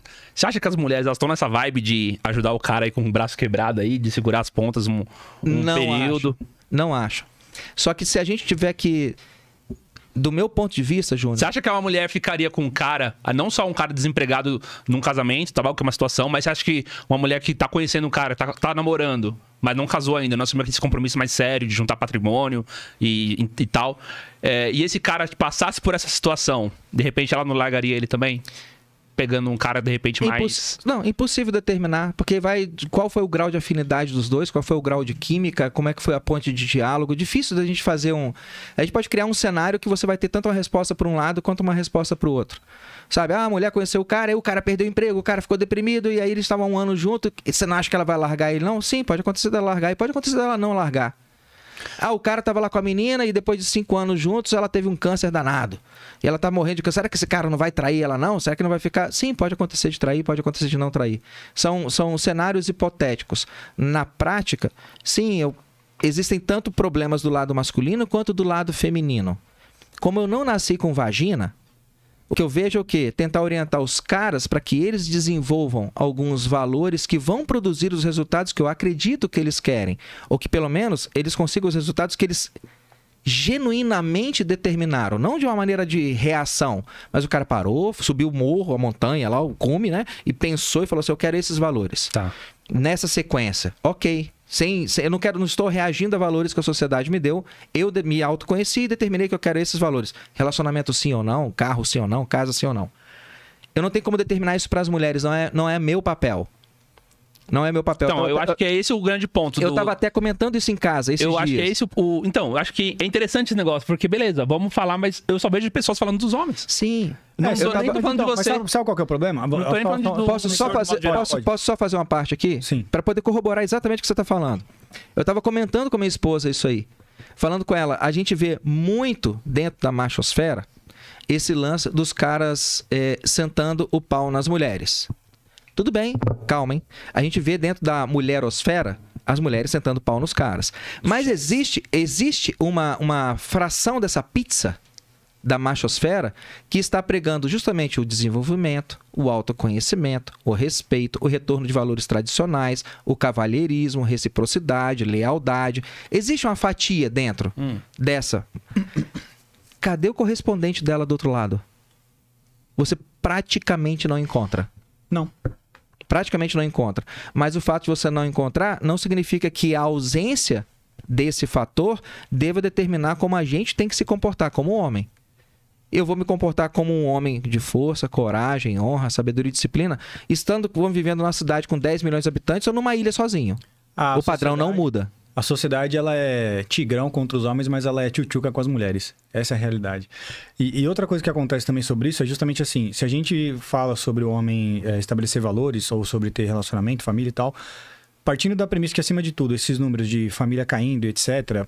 Até partindo da premissa que nós não vamos falar para as mulheres que eu também sou a favor, eu não vou me meter, não vou falar, até porque não vai dar bom para mim, certo? Nisso concordamos. Se esse número de natalidade caindo, entre outras coisas, o feminismo tal, as mulheres sendo influenciadas, é uma parada entre elas, tem que ser resolvidas nelas. Se a gente não tá falando para elas resolverem esse problema, cara, como que a gente vai resolver o problema se a gente tá falando que o problema parte delas principalmente? Porque assim, acima de tudo a natalidade. As mulheres têm as mulheres que têm acesso, as mulheres que decidem quem vai para frente quase 100%, elas têm acesso quase que 100% da reprodução, se engravidam ou não. O principal motivo pelo qual tá a natalidade é por responsa delas nesse caso, acima de tudo. Se a gente não vai falar para elas, como que a gente vai resolver o problema que vem da parte delas acima de tudo? Fica complicado. acendendo um farol na escuridão e criando homens de valor que tenham a capacidade de fazer escolhas fundamentadas em boas premissas. Ok. Porque vamos pensar em, em termos de livre mercado? Tá. Ah, vamos dizer que a gente tem. A gente está na cidade de São Paulo, 10 milhões de habitantes. Cidade de São Paulo, não a grande São Paulo, cidade município. 10 milhões de habitantes, mais ou menos. Vamos dizer que a gente tem mais ou menos 5 milhões de homens em torno de. Se de repente o mercado consumidor de 5 milhões de homens, uma hipótese, tá, Júnior? Em nome do argumento. Se esse mercado consumidor trocar os filtros dele de cinco características físicas de escolha das mulheres para cinco características de caráter, e como existe uma demanda por relacionamento, as mulheres têm muito mais demanda. Eu- Mas são as cons- mulheres que escolhem os homens, doutor, eu- não são os calma, homens. calma. Sim, mas Calma, vamos chegar lá. tá bom. Já foi te- Não, sem problema, sem problema. Se você fizer essa mudança de paradigma, você cria uma demanda no mercado. Homens têm uma demanda por sexo no- na mesma equivalência que mulheres têm demanda por relacionamento. Sim. Depende. Concordo. Estamos falando na maioria. A gente pode falar que homens têm demanda por sexo com mulheres. Aí você fala assim, depende. Sim, depende, porque 5% dos homens seguem uma sexualidade não, é, heteronormativa. É, depende, é, depende de, quando elas, de quando elas estão a fim do relacionamento. É isso que eu tô querendo dizer. Tem, tem. Tudo bem que dependa, mas de um modo em geral, se a gente for pegar a jogar a grande rede, né, e, e puxar. Não, beleza. Terminei você vai, seu, seu você vai ver o quê? Que a imensa maioria dos homens tem uma demanda por sexo. Às vezes uns, uns têm mais, outros têm menos. Lembra? Na maioria. Eu vou fazer esse tênis com esse símbolo da Nike. Todo mundo compra Nike? Não, mas existe uma demanda para esse, esse logotipo. Se eu fizer esse tipo de, de filtragem, os 5 milhões de homens da cidade de São Paulo pararem de escolher mulheres por características físicas e por causa da machosfera, de influência e tal, começarem a escolher mulheres, uh, em vez de cinco características físicas, duas físicas, três de caráter. Você muda o mercado que fornece. É fatal, você muda o mercado. Mas o homem precisa adquirir poder de escolha. Na hora que você tem esse filtro, e você está seguro dos seus filtros, você tem poder de escolha. O poder de escolha vem naturalmente. Se eu, eu tenho um morro que tem um pico de, de gelo, lá no morro, neve eterna, 5 mil metros de altitude, gelo eterno lá em cima. E aqui embaixo, no vale, na minha fazenda, eu não tenho água. Tá uma seca danada no vale. Como que eu transporto o gelo lá do cume da montanha até o vale? Ah, eu vou lá e, hipoteticamente, para ilustrar, vou lá com maçarico e derreto o gelo. Aí agora que ele derreteu, você vai colocar no balde e vai descer até o vale? Não entendi, mas. Eu quero trazer a água do pico do morro até a base do vale. Certo. No vale está seco, mas lá em cima tem uma geleira. Se eu for lá em cima com um maçarico e derreter aquele gelo, ele vira água líquida que eu posso usar na plantação, certo? Como que você vai transportar essa água líquida de cima do morro até no vale agora? Em Uma balde? corda. Não, é agora que ela é líquida, ela desce sozinha, né? Certo. Hum. Na hora que o homem cria esse valor e muda esses critérios, ele traz para ele o poder de escolha. Agora eu concordo. Cria o Eu valor. não- Agora você cria o valor. O homem Eu não- nasce sem valor. As mulheres vão começar. Isso. Algum já está Você acontecendo. algum- concorda nisso que o homem ele tem que construir o valor comparado com a mulher? Ele não tem via de regra ou não? Essa estratégia sexual oposta e diferente entre o homem e a mulher, que o homem ele é, ele é assim, ele tem que adquirir valor social para que Na ele hora- adquira poder de escolha. Vamos- primeiro. vamos pensar- Ele nasce sem poder de escolha. Existem dois, existem dois cenários aí. Em termos reprodutivos, se eu tiver uma tribo de 100 homens e uma mulher, lembra, agora vamos falar em termos de espécie, certo? Tá. Sociológicos, antropológicos. Se eu tiver uma tribo com 100 homens e uma mulher, quantos bebês eu produzo por ano? Um só. Um só. E se eu tiver inverso? Se for um cara bem animado, Todos. Todos possíveis. 100, be- todos possíveis. Às vezes mais de 100, vai que vai ter alguma gravidez gemelar lá, né? Então, em termos de matriz para a sociedade, a mulher é mais valorosa. Uhum. Em matriz, para poder gerar pessoas. Mas em termos para poder gerar a infraestrutura da sociedade, é o homem. Sim. Então não tem como você dar mais ou menos valor para um ou para outro. Porque se você não tiver a mulher, você não tem a criança. Mas se você não tiver o homem, você não tem onde essa criança crescer. Mas o homem que mais tem poder de construir infraestrutura é o cara que a gente fala que trabalha no saneamento básico, troca lâmpada de poste. Esse cara tá na infraestrutura literalmente botando a mão na massa. Que mulher que é esse cara? Não, não, Hoje- peraí, cara. Peraí, peraí. Não, aí vocês estão levando o negócio na, tudo na literalidade. O que eu tô falando aqui, não tem exatamente um mais valoroso que o outro. Não é uma briga.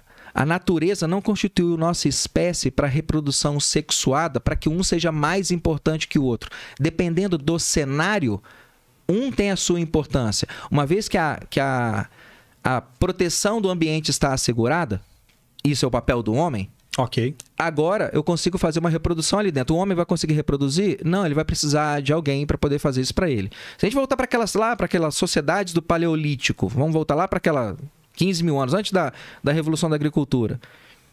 Eh, Quem era mais importante? As mulheres que ficavam lá afiando a lâmina da, da, da lança, ou ficavam tecendo as cordas que iam ser usadas para pescaria, ou o cara que ia caçar e pescar? As mulheres. Os dois. As mulheres. O Martin Van Cribel fala exatamente esse exemplo no Sexo Privilegiado. Os dois eram importantes. É, mas se- só que os homens, eles iam em 30 e voltava dois. No, no barco, porque a pesca sempre foi a, pro- a profissão que mais matava no mundo. Isso até recentemente, o, o relatório da ONU de 2011 mostra isso.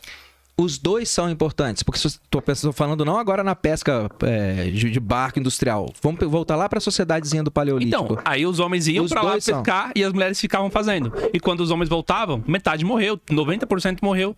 E a sociedade continuou, porque tinha Ah, um monte tá, de é, mulher. é. Então sempre as mulheres são mais importantes. As duas coisas são. O Porque suicídio se, é mais alto nos homens por causa disso também. porque se a gente não tivesse esses caras para poder fazer esse tipo de tarefa, Na- é, tudo bem que você está usando uma ilustração, mas você tem uma tribo de 90 homens e 90 mulheres. Os 90 homens saíram para pescar e voltaram só dois. Essa tribo não vai ser mais essa tribo. Ela não vai ser a minha tribo, agora vai ser a tribo do Miguel. Porque a tribo do Miguel com 90 homens vai tomar Vai a minha tomar. tribo. Certo? Eventualmente, você vai ter um equilíbrio de forças. Não existe isso. Ah, O cara saíram 100 homens, voltaram só dois. Essa tribo extinguiu. Porque alguém vai tomar o território dela e vai tomar as mulheres dela. É assim que as conquistas funcionavam. Então, eventualmente, os dois vão ter que trabalhar em equilíbrio. Se a mulher parar de tecer, num exemplo desse, se a mulher parar de tecer e parar de amolar a pedra, o cara não vai conseguir caçar nem pescar direito. Ela coloca a existência daquela tribo em risco. Se os caras começarem a. A, a, mulher tá tecendo e amolando e eles eh, decidirem não ir caçar, eles vão estar colocando a existência daquela tribo em risco também. Eu preciso das duas pernas. E se a mulher não quer nem amolar a pedra e nem caçar? Ela não, mas ela de- quer comer e quer que a lança esteja afiada. ela não deveria estar no seu radar por causa dos seus cinco filtros de caráter. Boa. O que que essa mulher é de novo? Faz a pergunta certa. Ah, porque tem um, um monte. Eu, eu já tive três relacionamentos e as três mulheres é, deu ruim, não, me magoou, me feriu, não, não deu certo. Primeira coisa que eu recomendo que você faça, antes de culpar as mulheres, olha pro seu dedinho. Será que o problema. Qual o denominador comum que essas mulheres tinham? Chefes. Você. Você. Chefe. Você escolhendo. Você escolhendo. A sua escolha. Eu Será- concordo, eu concordo. Será que o seu filtro ou o seu método de escolha não é que tem que ser revisado?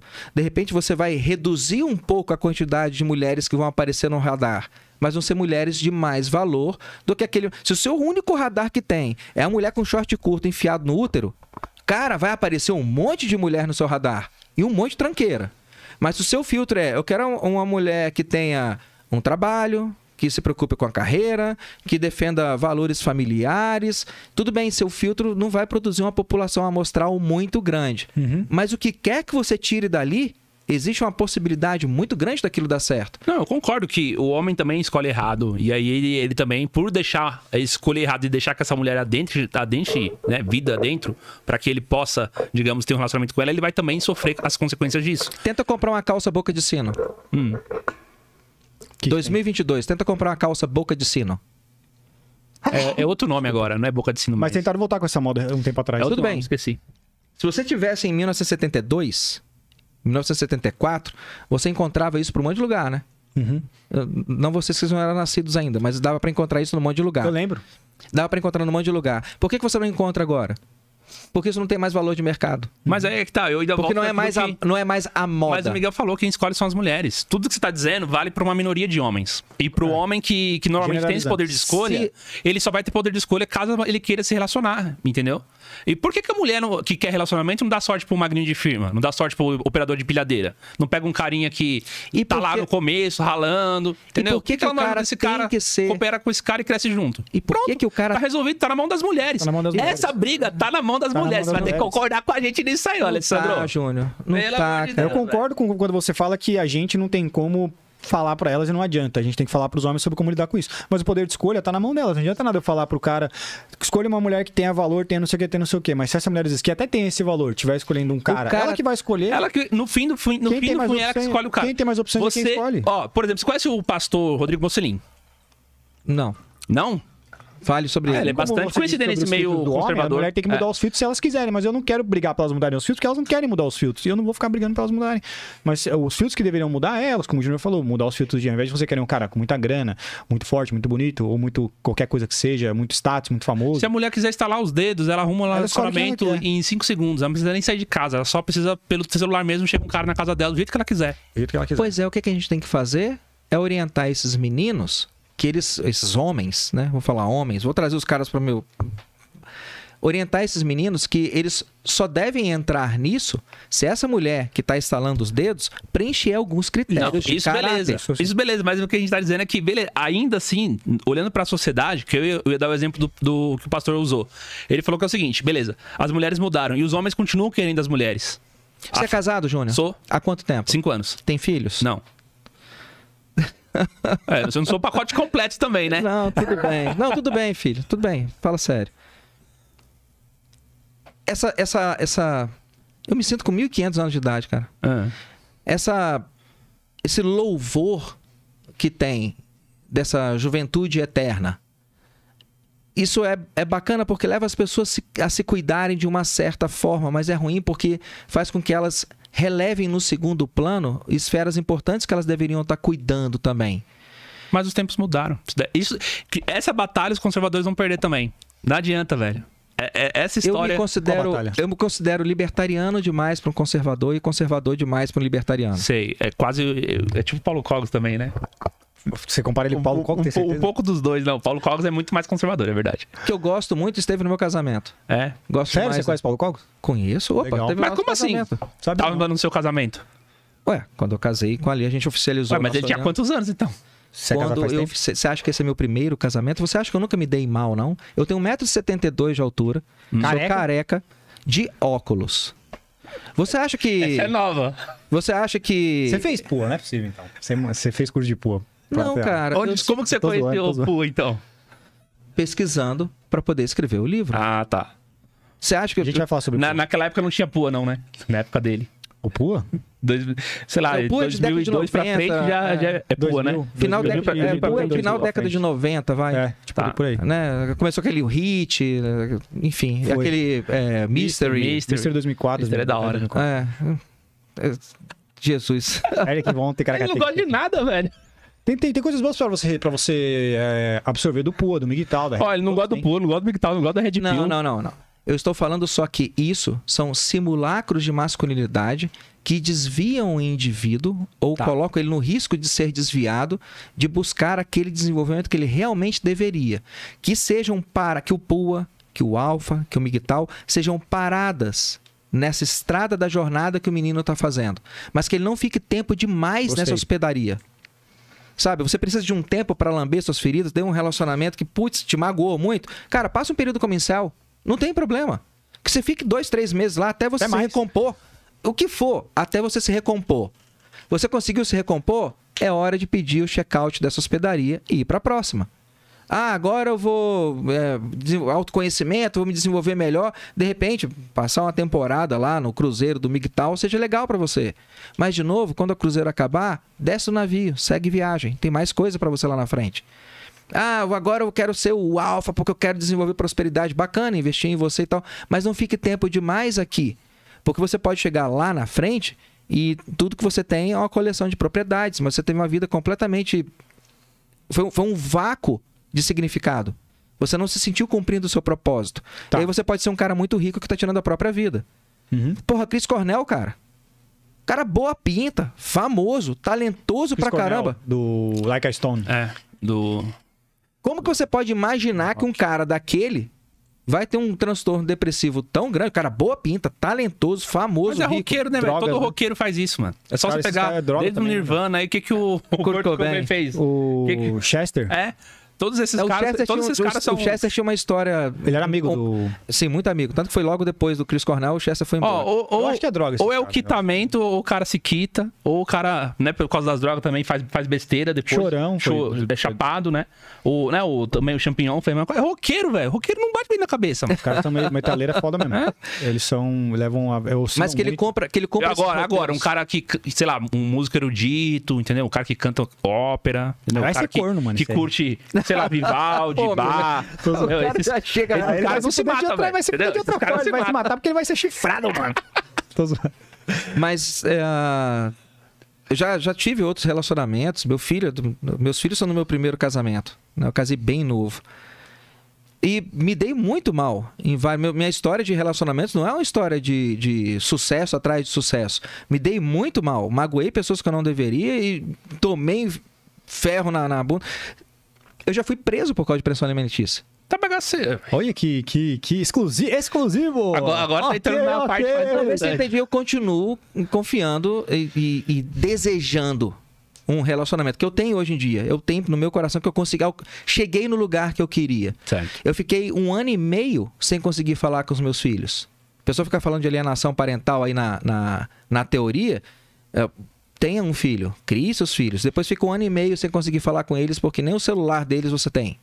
e a mulher fica mudando de endereço o tempo inteiro e troca o número dos meninos, ninguém, nem eu, ninguém da minha família, do meu lado da família, conseguia ter acesso às crianças. Um ano e meio assim. E mesmo assim, eu continuo tendo, tendo esperança e confiança de que sim, é possível construir um relacionamento. E se o Eu- cara não quiser por, por conta desses traumas? Tem, conheço muitos que por conta desses traumas não querem mais. De novo, Miguel, tudo bem. Se o cara falar assim, eu não quero mais essa pica, não. Isso. sabe? Chega. Tudo bem, mas que ele tome essa decisão com uma grande honestidade de conhecimento emocional Hum. Boa, dele. Não estou, não estou levando pra frente a expressão de algum trauma. Sabe, eu realmente tá- tem aqui, não, não é que eu superei, mas o ferimento virou uma cicatriz. Eu vou carregar essa cicatriz Isso. comigo. Eu não quero essa cicatriz de novo. Me doeu muito. Tudo bem, é legítimo. Uhum. O que eu peço que ele faça é que ele não culpe de um modo geral o grupo feminino. Entendeu? Tem pequenas pérolas. Será que ele não tá com aquela cicatriz de alienação parental? Ou ele tá lá cumprindo dois dias de, de, de carceragem? Porque ele fez uma escolha ruim nos filtros de caráter dele? Aproveita aquele tombo, sacode a poeira, faça uma escolha melhor na próxima vez. Mas entenda que quem fez, você pode falar que é a escolha das mulheres, mas quem é que vai escolher estar num relacionamento também cabe a um homem. A gente aborda muito isso. É, o homem, ele tem, ele tem, na minha perspectiva, ele tem essa posição de ser mais dominante, mas independente nesse caso de se posicionar para estar ou Com sair. toda também, certeza. Sem dúvida. O relacionamento começou gosto. a ir para um trilho que você não gosta muito? Sai fora. Tô com- Não, antes de você sair fora, calma. Conversa com a mulher e fala assim: ó, você entende que o caminho que a gente está tomando não leva para onde eu gostaria de estar e provavelmente não leva também para onde você gostaria de estar? Será que nós realmente queremos estar no mesmo lugar? Eu gostaria de ter, daqui a 20 anos, olhar para trás, eu velhinho olhando para mim mais novo, e falar: pô, que história bacana que eu tive ao lado dessa pessoa. Você enxerga isso também? Deixa claro, não tenta adivinhar o que o outro está pensando, simplesmente pergunte. Simplesmente esteja preparado para a resposta. Fala, não, não me enxergo. Bom, lamentável, que triste. Então acho que a gente vai ter que seguir caminhos separados, porque o que você quer, ideologicamente, não combina com o que eu quero. Sim. Não, Miguel Júnior, eu, eu, eu enxergo a gente assim também. Então, você entende que esse caminho que nós estamos levando não conduz até lá? E o segredo para poder fazer essa ponte é o quê? Diálogo. Uhum. Então, se você quiser um dia, dois dias, para você poder acalmar a fúria que está dentro de você, a hora que você estiver disposta para conversar, a gente conversa. Eu só estou te comunicando o seguinte: essa conversa vai acontecer. Se você demorar tempo demais, eu estou sendo cavalheiro, damas e crianças primeiro, né? Estou sendo cavalheiro, eu vou deixar que você pense aí durante um ou dois dias que horas que você vai querer ter essa conversa. Se você não quiser ter essa conversa, depois de amanhã, três horas da tarde, a gente vai estar tendo ela. Eu já tive, por exemplo, um relacionamento meu que eu cheguei pra pessoa e perguntei assim: "Ah, não vai te faltar nada. Eu tava numa crise, crise de relacionamento, perguntei, não vai te faltar nada. Não vai o trabalho, eu ganho meu dinheiro. Não vai te faltar. Se precisar separar, eh, pensão, alguma coisa, isso aqui fica com você. Eu não quero, não quero nada. Não quero nada. Mas eu quero que a gente se dê bem. E que a gente tenha uma ponte de diálogo para poder ter uma conexão emocional sincera um com o outro. O que que você acha? Aí a pessoa, isso era por volta da hora do almoço, foi uma conversa na hora do almoço. O que, que a pessoa falou? Vou pensar. Três horas da tarde eu estava numa parte hotel, com uma mochila, um violão e um notebook. Que foi tudo que eu levei daquele relacionamento. E não voltei mais lá. Essa é a capacidade de decisão do cara. Sim. Você vai pensar, você tem, você tem ideia do pacote que eu estou te oferecendo e você vai pensar, pense sem a minha companhia. Não, é óbvio. Isso daí que você tá Aí fazendo. a gente aí, concorda. aí a gente concorda. Esse é o É o tipo poder de... de ir embora. Esse, esse é o poder de estabilidade emocional que os meninos têm que ter. Eu já. eu já saí de. Tudo que ele tá falando já falou. É. É isso mesmo. Só que se a gente pregar isso como uma reação de medo ou ódio, eles podem estar tomando a decisão com uma carga de energia que não vai fazer bem para eles no futuro. Eles podem sair de um relacionamento desse, ganhar peso demais e ficar obeso, pode entrar para o alcoolismo, pode entrar para droga, por exemplo, como uma sublimação, uma fuga para aquela cicatriz emocional que ele não soube resolver direito. E você acha que o, O cara. problema vai, vai partir. Da, pra mim, o principal problema disso, da consequência pós-relacionamento, é, é o efe- é o como ele entrou acima de tudo. O cara tem que analisar muito bem a maneira que ele tá entrando, principalmente, não só referente aos comportamentos da pessoa, que a gente já falou, mas também sobre os comportamentos do porquê ele tá aderindo a essa relação, que muitas vezes os homens eles entram por falta de opções, não porque ele tá escolhendo aquela pessoa, porque ele não Carência. tem escolha. Carência. E aí que vai ter esse problema, que ele não consegue. Ele não vai conseguir tomar esse posicionamento que, eu- que você disse, de não, eu não vou aceitar, vou escolher esse caminho.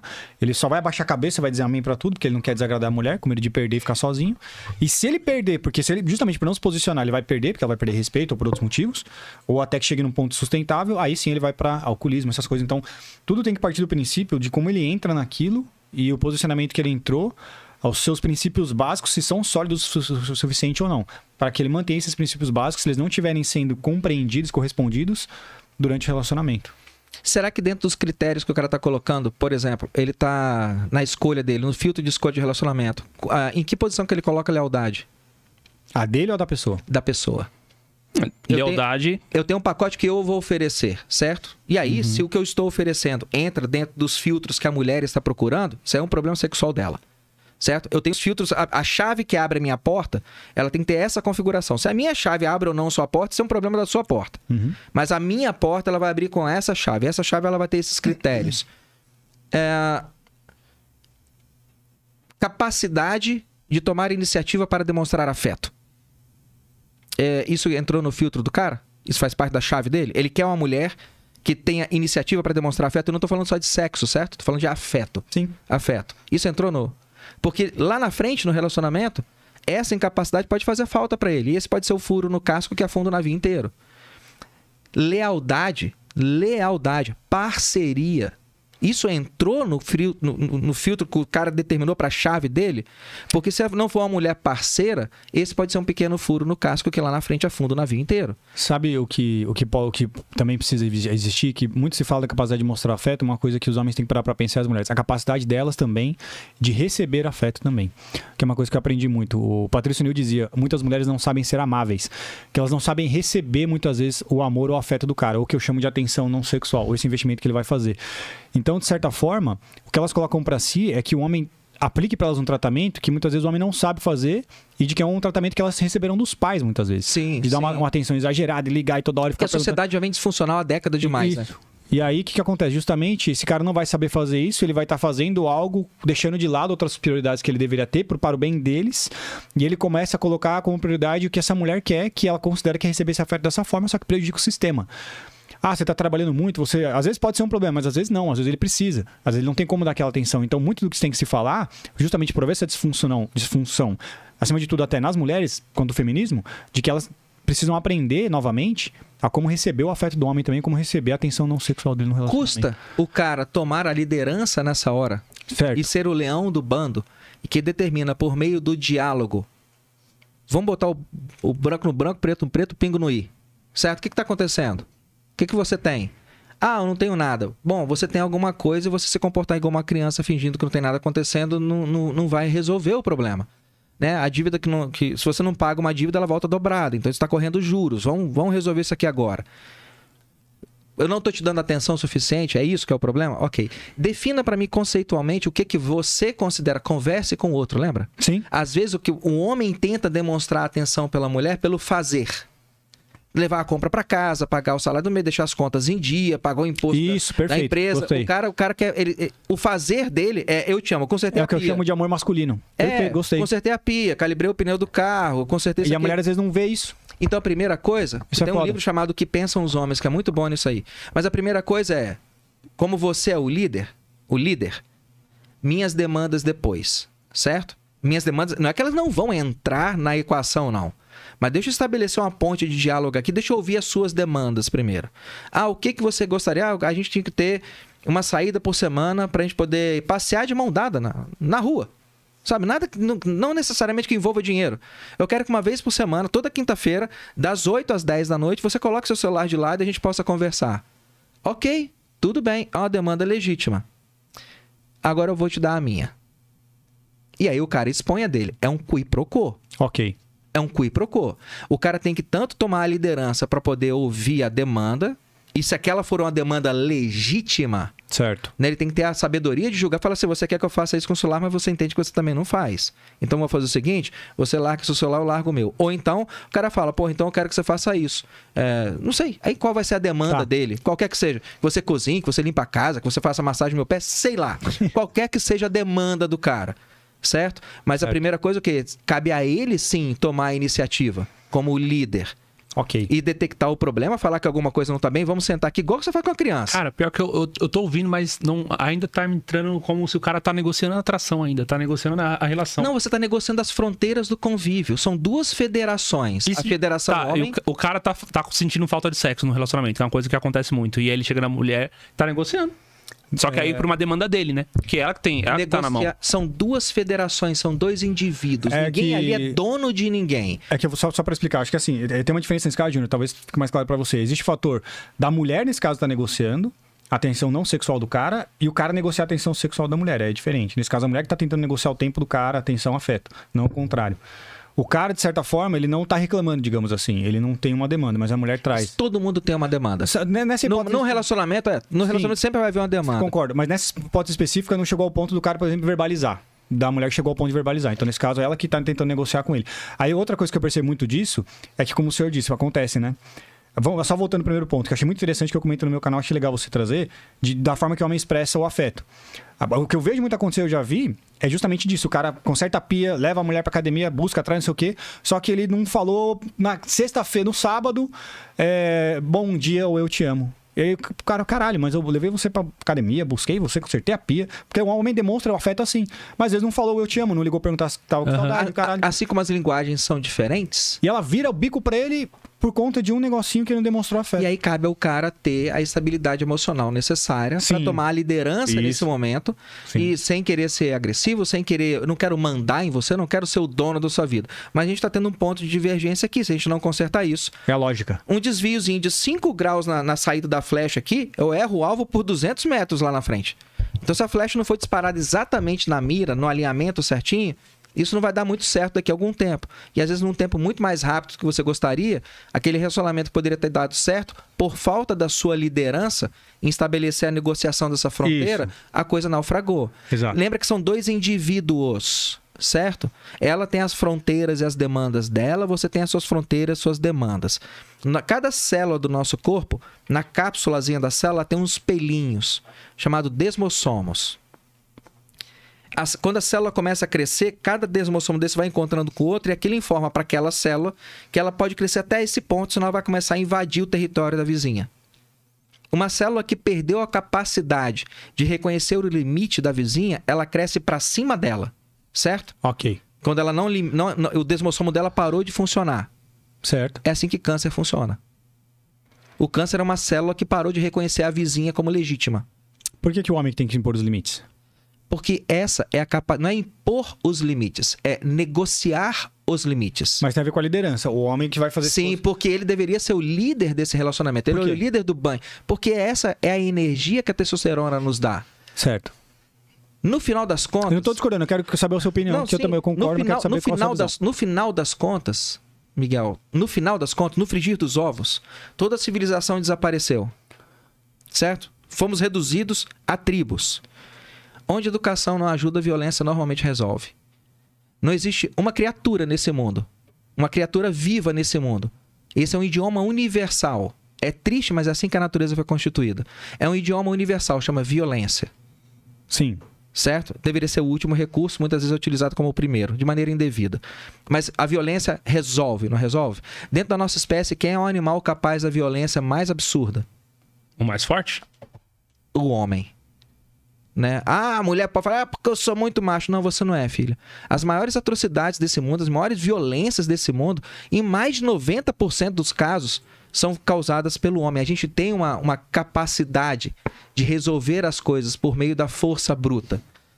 Se a gente for reduzir a situação ao nível do animal elementar, bom, deveria ser um sinal de liderança que o mais forte resolva. Mas aí é que tá. entra- Sabe aquela. e- Novamente e, o entra homem, o- e o homem é o mais forte. Mas entra naquela questão do depende. Beleza, os homens sempre fizeram muito mais atos de barbárie, violência e tudo mais. Só que as mulheres iniciaram na história 90% das guerras.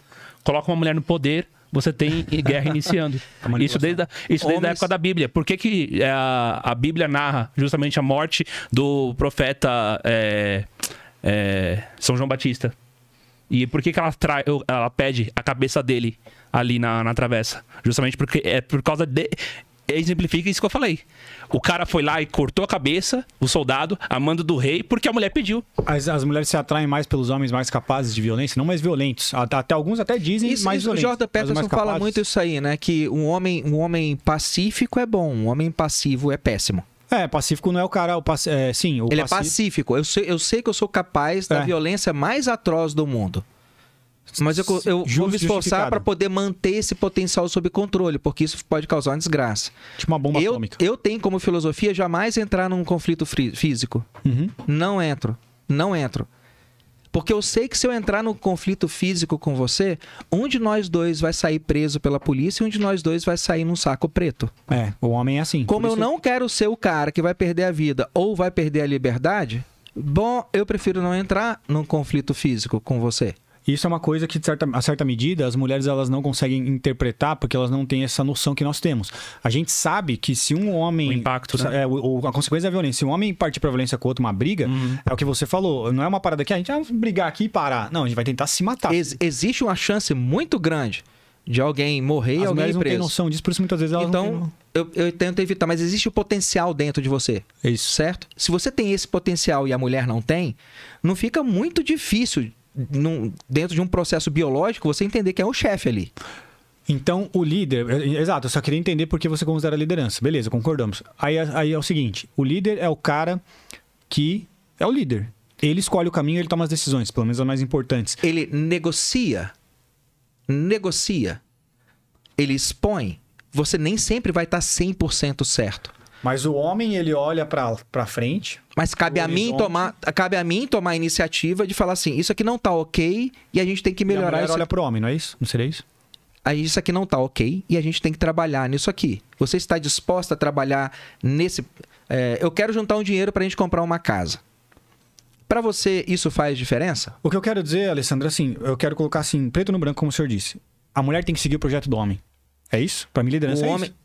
Não. Claro que, não. claro que o homem não vai fazer tudo sozinho, a mulher também vai. Mas assim, Eu não acho que ela tem que seguir, Miguel. Eu acho Não? que os dois. Não, calma, vamos lá. Vamos lá, Certo. vamos lá. Eu sou um homem numa relação. Tem minha esposa. Eu gostaria de mudar para tal cidade. Certo? Ela não gostaria de mudar para tal cidade. Bom, a gente tem que reduzir o nosso custo de vida nessa cidade. Na cidade A. Eu tô querendo sair da cidade A para a cidade B. Para reduzir o custo. Você topa ir para a cidade B? Ah, não, não quero. Tá, mas se a gente for continuar na cidade A, a gente vai ter que mudar para um lugar mais barato. Porque esse custo está muito alto. Você consegue entender isso? Se a mulher se negar sistematicamente a, É a- projeto. a qualquer tipo de, de, de mudança, fala assim: bom, você está querendo implantar em mim uma carga de trabalho a qual eu me recuso. Se eu fizer a minha mudança sozinho e for para um custo de vida mais barato, minha carga de trabalho melhora e minha, minha saúde retorna. é o seu Se eu, projeto. con- se eu continuar sendo o escravo das suas vontades, eu não vou conseguir fazer isso. Eu lamento muito, a gente vai ter que seguir caminhos separados. Eu já cheguei ao ponto, num relacionamento que eu tinha, de fazer 45 plantões num mês de 30. Você tem ideia do que que é isso? Plantão é o quê? 12 horas? Ficar dentro do hospital, da sala de urgência, emergência, UTI. Mas é Plantão de de- 12 horas? Fala. É isso, de Tá, 12 horas. Entendi. Eu cheguei ao ponto de fazer 45 plantões no mês de 30. Você tem ideia de quanto- quantos dias que eu fiquei fora de casa para poder fazer isso? É quase como trabalhar embarcado. Ok. No mês de abril, fechou o mês de abril, eu tinha feito 40 plantões. 45 plantões. Certo, No dia vamos lá. 10 de março, eu fui no dia 10 de maio, 10 de maio, eu fui colocar gasolina no carro e não tinha 20 reais no cartão. Mulher conseguiu gastar tudo. Emoção, emocional. Então, é, O a- que, que eu fiz? Cheguei em casa e fui ter uma conversa muito séria. Muito séria. Eu falei, ó, isso aqui não é, não é que isso vai ser corrigido. Isso não vai acontecer de novo. Nunca mais. Nunca mais. Posso te dar um exemplo? Na nossa perspectiva, você cometeu um monte de erros. Opa, eu Por- sei que eu cometi. Porque, então, porque você tá nessa de que tem que negociar. Não tem que negociar. Você tem um negócio chamado moldura. Você perdeu a moldura a partir do momento que você abre a possibilidade de negociação.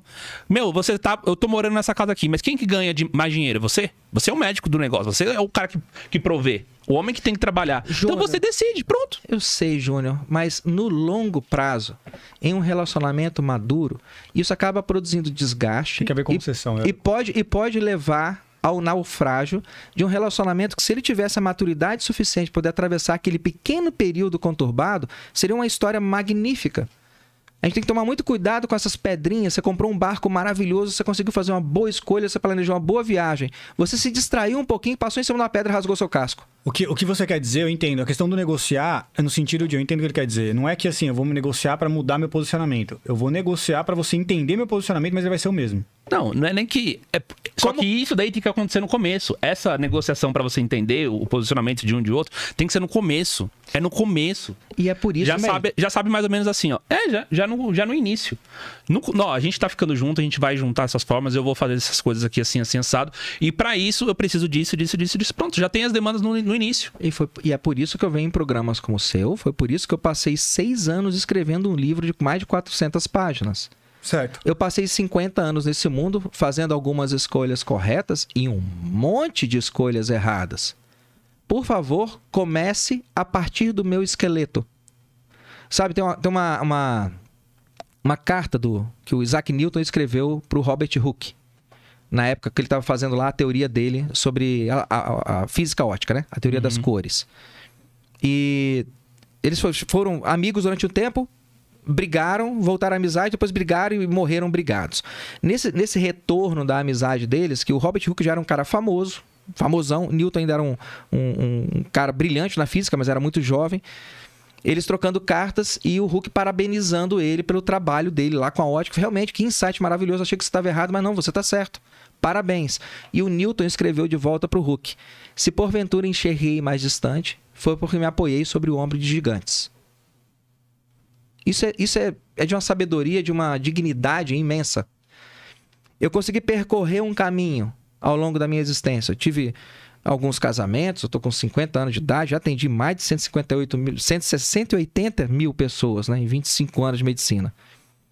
Já eu tenho CRM em três estados diferentes, já, sei lá, acho que tem quatro estados no Brasil que eu não botei o pé ainda. Fiz um monte de escolha errada. Já li mais de 3 mil livros. Eu fiz um monte de escolhas erradas na minha vida. Mas eu consegui percorrer uma trilha no mato até aqui. Eu não quero que você venha até onde eu estou. Eu quero que você venha até onde eu estou e ali vai ter meu esqueleto, não vai? Sobe em cima dele e enxerga o que eu não vi ainda. Mas não perca muito tempo para poder fazer o mesmo caminho que eu já fiz. Eu já desbravei essa trilha. Você não tem que abrir uma trilha paralela. Você pode simplesmente chegar lá, pega o livro e entenda as escolhas erradas. As- Aprender com o erro outros. isso, cara. Ao invés de você pass- chegar é com sabedoria, 50. né? Você tá com 20 anos, 30 anos de idade. Cara, eu vou te dar umas ideias aqui do que, que pode acontecer quando estiver com 50. Quando, o que, que pode acontecer quando tiver uma filha de 30? O que, que pode acontecer quando tiver um filho de 25? O que, que você pode estar pensando naquela época e olhar para trás e falar assim: caramba, eu devia ter feito isso diferente. Eu devia ter constituído minha família com valores diferentes. Sim, tem os aprendizados estão ali, o manual está ali para te ajudar. Não é, não é- não é que ele deve ser o único, não. Utilize vários deles. Mas aqui está um. Não cometa os mesmos erros. Ser intransigente e falar assim: liderança é eu decido e todo mundo obedece. Cara, isso é um jeito de levar a vida, mas é um jeito bastante desgastante e no longo prazo a tendência é não produzir o resultado que você gostaria. Ma- Mas há esse fator também. Eu concordo que não deve ser só esse fator, mas há, há o fator obediência na liderança. O que eu quero dizer sobre a liderança. Sim, você não tem como ter um líder se não tem alguém que obedece, né? Sim, exatamente. Mas a primeira parte do líder não é só mandar. Não. né? Você antes de tomar aquela decisão de mandar a tropa avançar para cá. Mas se for preciso, ele tem que também manter a, a decisão dele. Sim, sim. A palavra final continua sendo do homem. De novo, a liderança é a do homem. A Isso. palavra final é: tudo bem, não vamos fazer isso, tudo bem, não vamos fazer aquilo. Você já assistiu 1917, o filme? Sim. sim. Fabuloso. Dos dois Fabuloso. garotos, né? O Cumberbatch lá que é o que é o O que morreu, cara, não, não. O Cumberbatch é o, é o, é o- é o capitão, o major, sei lá, que tá na linha de frente que vai dar ordem pro exército avançar em cima da armadilha dos alemães. É o que fez o, o Senhor Estranho, Doutor É. Estranho? Isso, Ah, Doutor tá. Estranho. Ele é o cara que vai dar a ordem. Certo? Ele é o líder, não é? Sim. Ele ia tomar uma determinada decisão. Quando o rapaz, o mensageiro, chega pra ele falando assim, é uma armadilha, ele toma uma decisão diferente, não toma? Sim. É a mesma decisão? Não. A decisão coube a quem? Coube a ele. Ele é o líder, não é? Dependendo do tipo de informação que você tem, você pode mudar a sua decisão. Não, concordo. É o que ele fala, a decisão foi do, é, do- foi do homem. A mas, decisão assim, é do isso. homem, mas assim, não, não significa Não necessariamente que você não tem que ouvir o outro lado. Ouça, e às vezes a informação que você vai colher do outro lado pode mudar a sua decisão. Tenha a hombridade, tenha a dignidade de aceitar isso. Não, porque eu vou fazer isso aqui, eu vou comprar esse carro aqui. Não, perfeito, Só que perfeito. tem, tem um posicionamento, desculpa mais uma vez. é, tem um posicionamento também de que assim, esse cara chegou nessa posição por várias decisões certas que ele tomou. Então, por isso que o, o líder, nesse caso, ele é o cara que ele tem que ouvir, mas as decisões dele devem ser as mais importantes e as mais a serem consideradas, porque se ele chegou naquela posição é porque ele teve decisões que o levaram até Ele lá. assumiu o risco. Colete o maior Perfeito. número possível. Isso, excelente. Colete o maior número possível de informações que você puder. Pondere o maior tempo necessário, o maior tempo disponível que você tiver. Às vezes você não tem todo o tempo que você gostaria do mundo, mas você tem 10 minutos para tomar uma decisão. Cara, pondere profundamente sobre aquilo. Coletou as informações, considerou a influência emocional que pode estar impressa no viés da sua decisão, o máximo de fatores possível, julgou com seu lobo pré-frontal. Perfeito. Você só vai ficar pronto quando você tiver 25 anos de idade. Julgou com o seu lobo pré-frontal. Essa é a decisão a ser tomada? Tudo bem. Mantém. Sustente aquilo. Se você tomou uma decisão desse jeito, você agiu. Você não reagiu. Perfeito. A gente Assim, normalmente vai voltar atrás das nossas decisões quando você sai reagindo, reagindo, reagindo, Você reagindo. só age pela mira lá onde você recebe É, o, o cara, e- te- o cara esbarra em você na calçada, você vai lá e reage pro cara que quer bater no cara. O cara tá levando um remédio pra uma filhinha de 5 anos de idade, tá convulsionando de febre lá. Tá correndo e chamar um, um- um- sei lá, um- a a mulher tá dando trabalho de parto. Não- você não sabe, cara. Por isso que dizem que o homem não é racional, ele é racionalizador. Ele analisa os impulsos que ele recebe do ambiente, que vem primeiro, né? E aí ele racionaliza O cara cortou você no trânsito, você vai lá parar o carro e vai dar uma fechada no cara e vai puxar o canivete pra puxar 9mm, vai sair na confusão. O pai do cara acabou de falecer, bicho. O cara tá sendo um trabalho transtornado. Calma. Controle emocional. Colhe- colete o maior número de informações possíveis. Aí você toma a sua decisão. Por isso o homem deve ser líder, porque por causa da questão emocional que a mulher tem mais aflorada do que no homem, e o homem tem mais aprofundamento lógico, como no exemplo que você disse. Por isso que eu falei no começo, a mulher tem que seguir o cara. Por isso. Por isso. Porque o que você falou, é, eu tô analisando a maneira lógica aqui. Se a gente tem que mudar para certa cidade, tal, tal, tal, tal, tal. O homem tem esse aprofundamento lógico, que creio eu, vem muito da questão da sobrevivência. Para ele caçar e etc, ele tinha que calcular, calcular, calcular, calcular, calcular para não morrer. E aí, por isso que o poder de decisão dele é mais aprofundado. Ele pensa no pensamento do pensamento do pensamento do pensamento. E a mulher tem que acompanhar isso e mandar a mensagem. Por isso que não serve para ela Se liderança, ela, porque ela vai agir optar, mais se ela emocionalmente. optar por não confiar na qualidade das decisões dele, que você aceite que aquilo lá tem que chegar no fim. Sim. Porque não vale a pena. Não vou ter que ficar trabalhando pela sua confiança o resto da minha vida.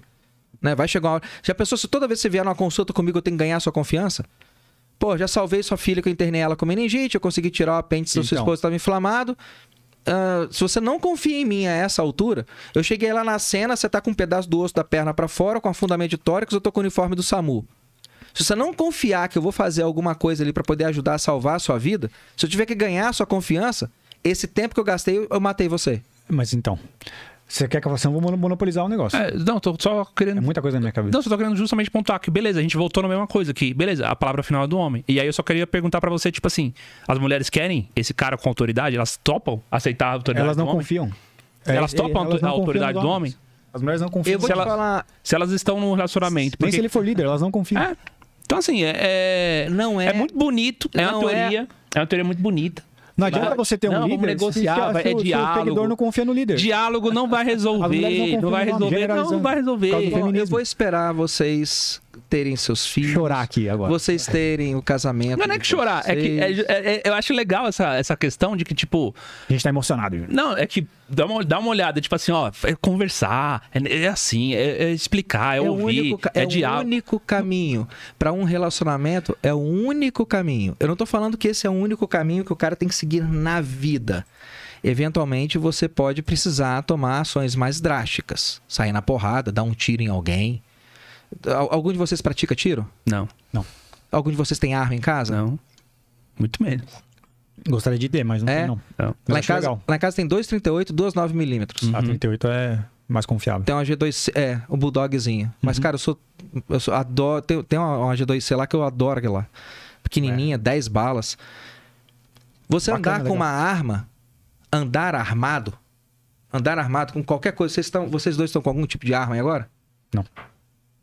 Vocês não andam com nenhum tipo de arma. o fato de você andar armado, seja com um canivete, seja com uma arma, aquilo implica em você um senso de responsabilidade muito grande. Eu faço arte marcial, por exemplo, só. A única coisa que eu tenho que se aproxima até um centro. Coloca um a 9 milímetros na sua blusa, na sua calça aqui, posição de 6 horas, coloca uma blusa por cima e anda. Dentro de casa. Dentro de casa.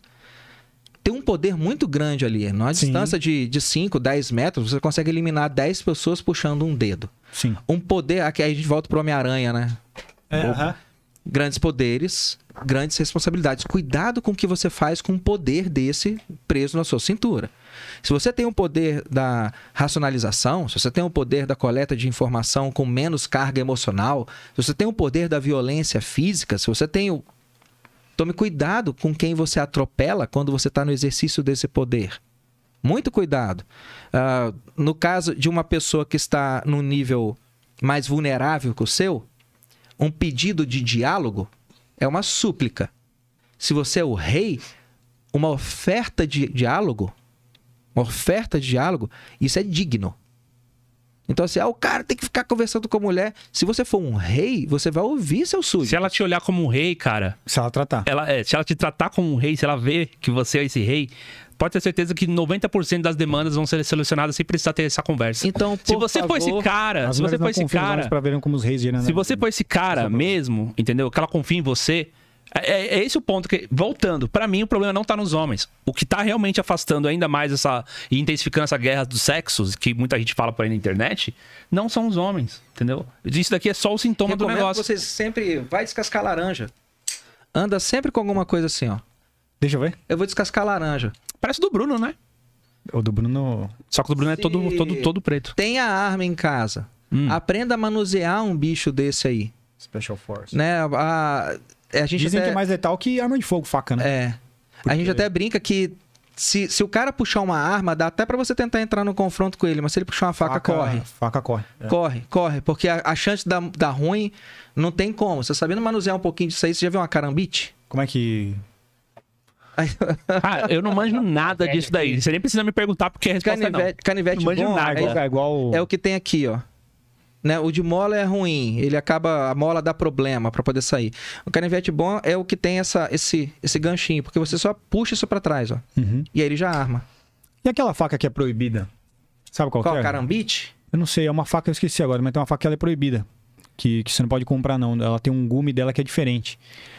Eu ah, não sei se é diferente. Se, for, se a gente tá falando da carambite, eu tenho ela lá em casa. Você compra pela internet, compra pelo Mercado Livre.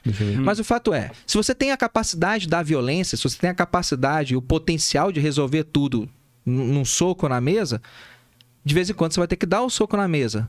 Tome cuidado quando você for dar o soco na mesa. Você colheu todas as informações necessárias e você está tomando aquela decisão como uma expressão da vaidade do seu ego ou aquilo lá é uma expressão de sabedoria, entre aspas, nível salomônica? Perfeito.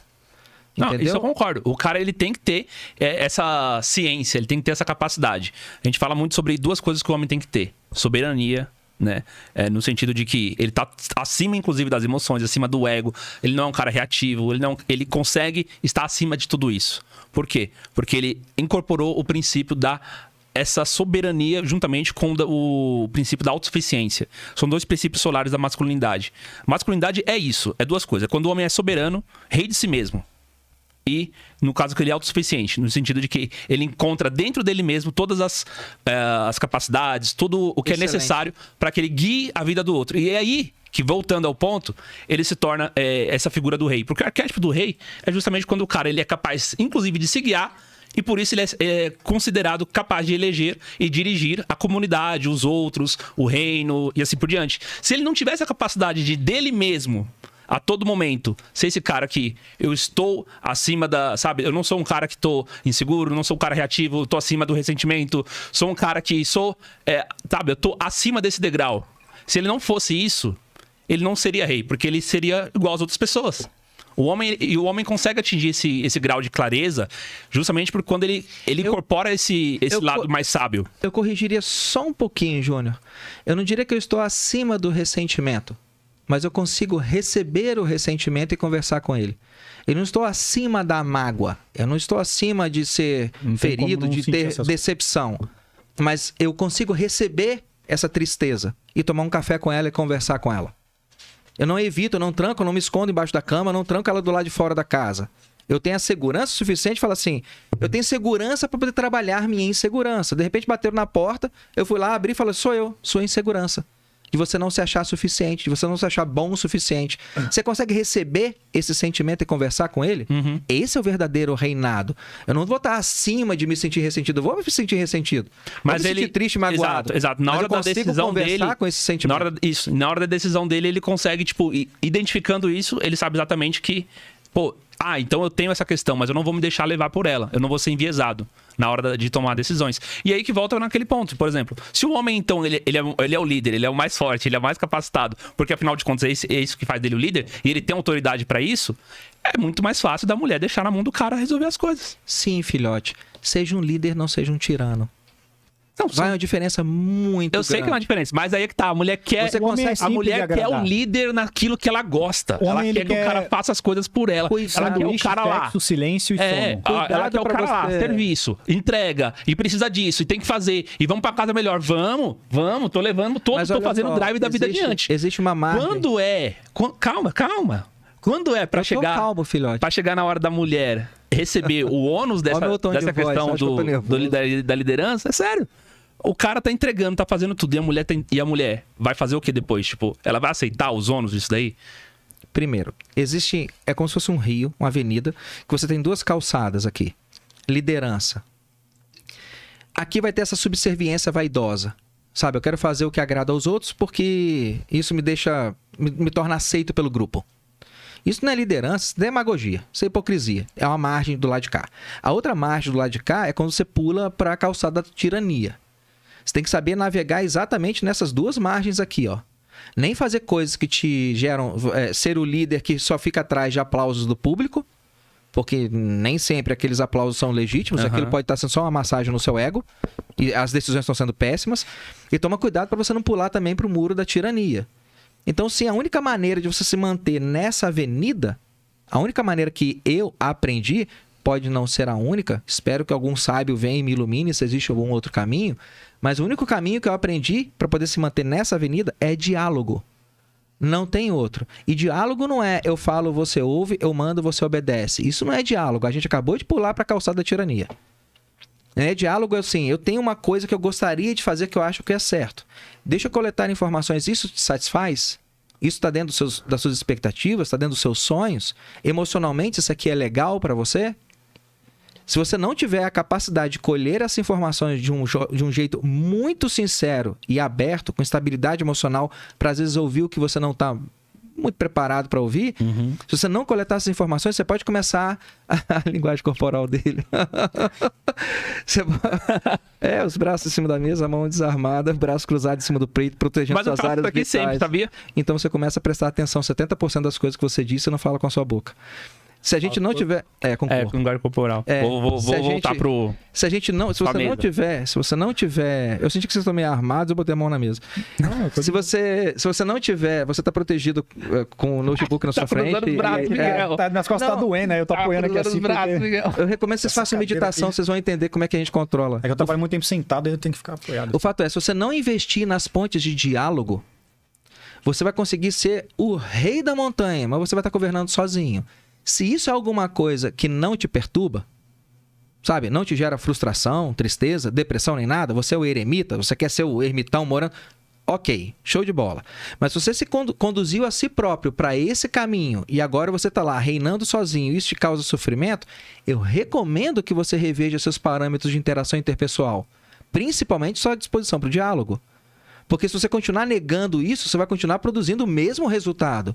Então, algumas vezes, ah, porra, tá foda porque a mulherada. Tudo bem, existe o componente da agenda cultural feminina, que é um. tá impregnado e é uma porcaria. Mas você. O fato de você não conseguir mudar essa agenda não significa que você não pode mudar algumas coisas dentro de você. É, como vocês estavam falando, desenvolvimento de autoconfiança, autodesenvolvimento, planejamento financeiro, é, planejar minha carreira, é, planejar as metas que eu quero atingir, se eu quero perder peso ou não. A agenda cultural feminina influencia em que nisso aí? Nada. Sim. Isso é uma decisão que o indivíduo toma. Da mesma maneira, a decisão de estar disponível Mas para o diálogo. Não, não valeu. De estar disponível para o diálogo. É, é- Bate-se muito em várias teclas dentro da machosfera. Certo. E eu sinto falta dessa tecla. Porque depois de caminhar um bocado, criar dois filhos, tenho uma carreira de médico aí, já escrevi mais de 20 livros, já. Eu tenho duas empresas, minhas empresas pagam minhas contas, eu trabalho dentro de casa. Depois de construir isso, eu entendi que tem algumas coisinhas que se eu puder alertar os meninos mais novos, fala, cuidado do seu corpo, show, cara, cuide, bacana. Ficar dentro do peso, ficar com um corpo legal, definido, ter uma carreira, criar um negócio, ser empreendedor, show de bola, parabéns por isso. Reconhecer as agendas feministas, essas leis misândricas, show de bola, parabéns por isso. Mas não esqueça disso aqui, ó. Não esqueça desse grãozinho de areia. Ele pode parecer que não é nada, mas se eu colocar esse grão de areia no seu olho, você vai ficar louco. Ficar louco. Ficar Uhum. louco. É, no- no- numa briga, por exemplo, se você não tem acesso à região ah, inguinal do indivíduo, quais são os dois lugares que você pode atingi-lo de uma maneira razoavelmente simples e, e, e te dar uma chance de sair da situação? Saco? Não, você não tem, não tem acesso à virilha Ah, não tem acesso. não tem acesso à virilha, certo? Vamos dizer, o cara tá com a perna fechada, ele tá de lado, o acesso à virilha é complicado. Tem dois lugares que você pode atingir esse cara e você tem uma chance grande de eliminar o conflito logo ali. Olho, Primeiro, sinceramente, tímpano. tímpano. Tímpano. Exi- existem duas técnicas de briga, vamos dizer, né? Você pode lutar igual um chimpanzé e você pode lutar igual um homo sapiens. Chimpanzé, você vai ver esse triângulo aqui da face, ó. E aí Certo. você vai usar unha e dente. Né? O, o músculo mais forte do seu corpo é o masseter. Aqui. Esse aqui, ó. É o mais forte. A gente tem uma mordida poderosíssima. Se você for lutar igual um chimpanzé, você vai voar pra cima do cara, jogando seu peso em cima dele. Ele vai desequilibrar, que ele vai querer se desvencilhar de você. No que ele cair no chão, você imobiliza a mão dele e com a sua boca você morde esse triângulo da face. Morde, morde de arrancar pedaço. Ah, as- os vasos aqui da, da supraorbital vão sangrar em cima do olho dele, ele vai perder a visão. A fratura do nariz vai comprometer a respiração dele. Você tem um cara que está praticamente disponível para você fazer o que você quiser com ele. Interessante isso aí. Se você não tiver a chance de lutar com um cara como um chimpanzé, utiliza o tímpano. O tímpano já teve dor de ouvido, filho? Já. Tem, existe uma. Já passei muito por dor de ouvido quando era. Tem um, tem, um, É horrível. Tem um livro antigo, né? Da época da década de 70, de espiões russos, que tinha um torturador lá que era famoso porque ele conseguia convencer os caras e tirar qualquer informação dos caras com um fiapozinho, que a gente chamaria aqui no Brasil de piaçava. Sei. Certo. Da vassoura. amarrava o cara, colocava aquilo no ouvido e fazia assim, ó. Fura um tímpano, filhote. Mas aquilo é uma dor desgraçada. Vocês já fizeram mergulho livre, já tiveram. Não, eu, eu já tive. Uma vez eu fui na praia e acumulou muita, muita areia, sal. E aí o médico teve que tirar com aquele, aquele aparelho. Daí ele enfia Cara, lá no fundo, é um- puxa, é uma dor pro caramba. Do cacete. Tímpano. E o segundo é o Foda. septo nasal, né? Uhum. É o- empurra o septo nasal pra cima. Uhum. Então, o, o lance é: existe esse potencial para violência, existe toda essa, essa agenda que o cara pode se cuidar para poder fazer o que ele deveria. Você vai encontrar dicas de autodefesa, você vai encontrar dicas de prosperidade, dicas de como é que você seleciona um relacionamento, como é que você termina um relacionamento. Existem. re- Realmente, será que a machosfera está preparando esses meninos para dicas de como é que você estabelece pontes de diálogo? É, inclusive eu. Isso é o mais crucial, é tão crucial quanto estabeleça ponte de conexão com o seu universo emocional. Reconheça, a gente tem fragilidade, a gente sofre, a gente chora. Certo? Chora. Vamos parar com esse negócio aí, chora. Perdeu seu pai, sua mãe, um filho, um amigo. Cara, você vai perder um cachorro. Se for um cachorro que te acompanha desde a infância, sabe? Seu pai te deu aquele bichinho lá, você tinha 5 anos de idade, agora você tá com 20, o bicho morreu. Porra, vai doer. Chora, não tem problema nenhum, não. Não chore por qualquer coisa, mas chore. Né? Não se emocione com qualquer coisa, mas se emocione. Será que a, a, a tecla do diálogo e do conhecimento emocional está sendo apresentada para esses meninos com a mesma fre- frequência e intensidade com que as outras teclas estão sendo apresentadas? É, é, na minha opinião, não. Inclusive, até por isso que recentemente, no, não, não direcionalmente nisso, né? Mas eu acredito que na- nas outras, nos outros tópicos eles influenciam também nesses comportamentos que a gente aborda isso no que tange a lidar com mulheres, né? Sobre inteligência emocional com elas especificamente, mas não muito sobre autoconhecimento para si mesmo, mais sobre conhecimento sobre o feminino que indiretamente também influencia no autoconhecimento sobre si mesmo também. Então, inclusive, eu falei no último episódio de uma pergunta que fizeram sobre qual seria o próximo passo da machosfera, inclusive, tem a ver com o que você está falando. E eu disse que deveria ser, acima de tudo, inteligência social e autoconhecimento, que inclusive eu falei no vídeo que eu gravei lá para a fraternidade dizendo que há essa demanda por haver muito por haver muito ressentimento na comunidade. Há essa demanda para isso, que é um conteúdo que eu tô trazendo, já tô produzindo e vou trazer. Inclusive, eu preciso. Eu vim pensando sobre isso, inclusive agradecer o Gambit. Sempre tem que agradecer o Gam- o Gambit, porque ele que me deu esse gatilho. Então, toda vez que eu falar de inteligência social, eu vou agradecer o Gambit. Valeu, Gambit, mais uma vez. Então, eu comentei sobre isso, que falta isso na comunidade, de haver essa inteligência social. Inteligência social é diálogo. que a partir, principalmente a partir da oferta, de você oferecer um aperto de mão, coisa simples, né? Um aperto de mão, um sorriso, o que é que seja. E aí que você vai receber em troca também das pessoas daquilo que você oferece. E aí tem toda a estrutura que explica Você sobre... vai gostar do sobre- capítulo que fala sobre respeito. Sim. E aí, Você vai e, gostar. e aí exatamente o que o, o livro que eu tô lendo que fala sobre inteligência social, ele aborda entre outras coisas, que a nossa parte instintiva que a gente recebe das outras pessoas diz muito sobre o nosso comportamento também decisório final. Então, muito do que, do que a gente faz, as pessoas têm controle sobre isso. É como se o nosso cérebro tivesse conectado. Então, você tem muito controle sobre a forma que as pessoas tratam você a Sim. partir do que você oferece. Então, é isso que eu quero trazer a partir, principalmente do princípio de que você pode estar sendo tratado por homens e mulheres profissionalmente, partindo muito do que você tá fazendo e tratando essas pessoas e oferecendo para elas. Que é o que eu quero começar a trazer para Isso funciona, todo sentido. isso funciona dentro do seu relacionamento. Sim, também. Dentro, é um relacionamento inter- interpessoal com algumas diferenças, né? Porque provavelmente seu chefe no trabalho não vê você pelado andando em casa. né? Sim, Com algumas tem- dife- diferenças peculiares. Tem o, o sexual. O sexual faz toda a diferença. Romântico e sexual. Não só isso, não só romântico e sexual. Eu tenho duas 9mm do lado da minha cama, carregada. Eu durmo com a minha esposa. Quando eu tô dormindo, ela tem. Ela é Você viu o que aconteceu com o Paulo Bilinski, né? Que ele tomou uns tiros, toma cuidado. hein? Sim, sei. Ele veio aqui, inclusive. Cara, esteve aqui. Faça A arma, escolhas. a arma tá no. A arma tá no, no cofre? Basicamente. Aí, viu, ó. Paulo Bilinski não, não, não aprendeu essa Ele, ele lição. deixou a arma no. Porra. Não, basicamente, mas não é exatamente um cofre, né? Mas basicamente, Tá bom. algumas coisas de, de segurança domiciliar é recomendável que você não fale exatamente como é que tá. Tá. Mas o fato é, as duas armas estão lá, são acessíveis e minha esposa sabe atirar, atira bem pra caramba. Eu não tenho problema nenhum, é. Seu chefe não vai dormir com você. E se você não tem, ah, pô, aí, aí, por isso que eu não tenho em casa. Vai que a mulher pega a arma. Filha, ela pode pegar um paralelepípedo e esmagar a sua cabeça enquanto você tá dormindo. Tá? Eu já atendi pacientes assim. Cortar seu pinto com a tesoura, que é pior que isso. É, esse, esse paciente eu nunca atendi, mas já atendi queimado por azeite, queimado por água quente, É, que, a- foi, que foi espancado, que foi esfaqueado. A violência da mulher normalmente é que ela aplica. É quando o cara tá dormindo. É o tá bêbado, beudo. É. de já cansei costas. de fazer lavagem gástrica em, em, em homem. Cansei não, né? Também é exagero. É. Mas já fiz um bocado de lavagem gástrica em homem que foi envenenado com, com chumbinho. É tipo, nossa, velho. É tipo isso, é pegar Tem o cara- salvação esse cara? É pegar o cara com água quente. Eu já é assinei, infelizmente, por causa do tipo de trabalho. O homem ele já que vai de frente fazia, já. Sala de urgência e emergência, entre outros, eu assinei mais de 2 mil atestados de óbito. Eu já vi gente morrer de maneira mais diferente. Esse, esse, esse país nosso é uma guerra.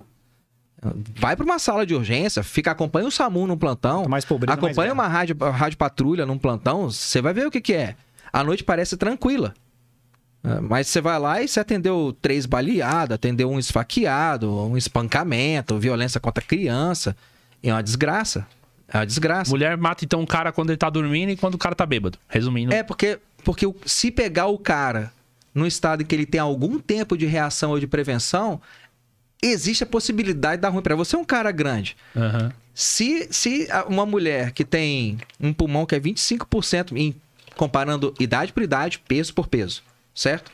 Se eu comparar assim, mesma idade, mesmo condicionamento físico, não vou pegar uma mulher que é atleta, é, triatleta de É, 25 aí é anos e comparar comigo. Me parear por idade, por peso, ok? Parear. Ah, seu osso é em torno de duas vezes mais denso que o dela. O seu músculo contrai e utiliza ATP com três vezes mais eficiência que o dela.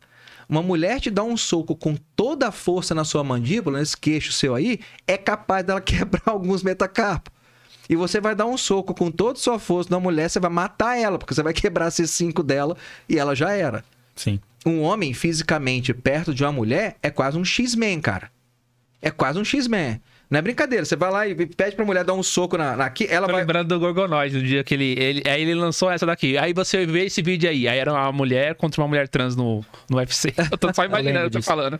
Porque se ela vai te dar um soco com muita força, os ligamentos do punho dela são mais, são mais delicados, o osso dela é menos denso que o seu. É como se tivesse menos cálcio, ele quebra mais fácil. O músculo dela não bate tão forte, a, a capacidade pulmonar dela O não golpe- é tão grande. O golpe da mulher mais letal é no coração do homem.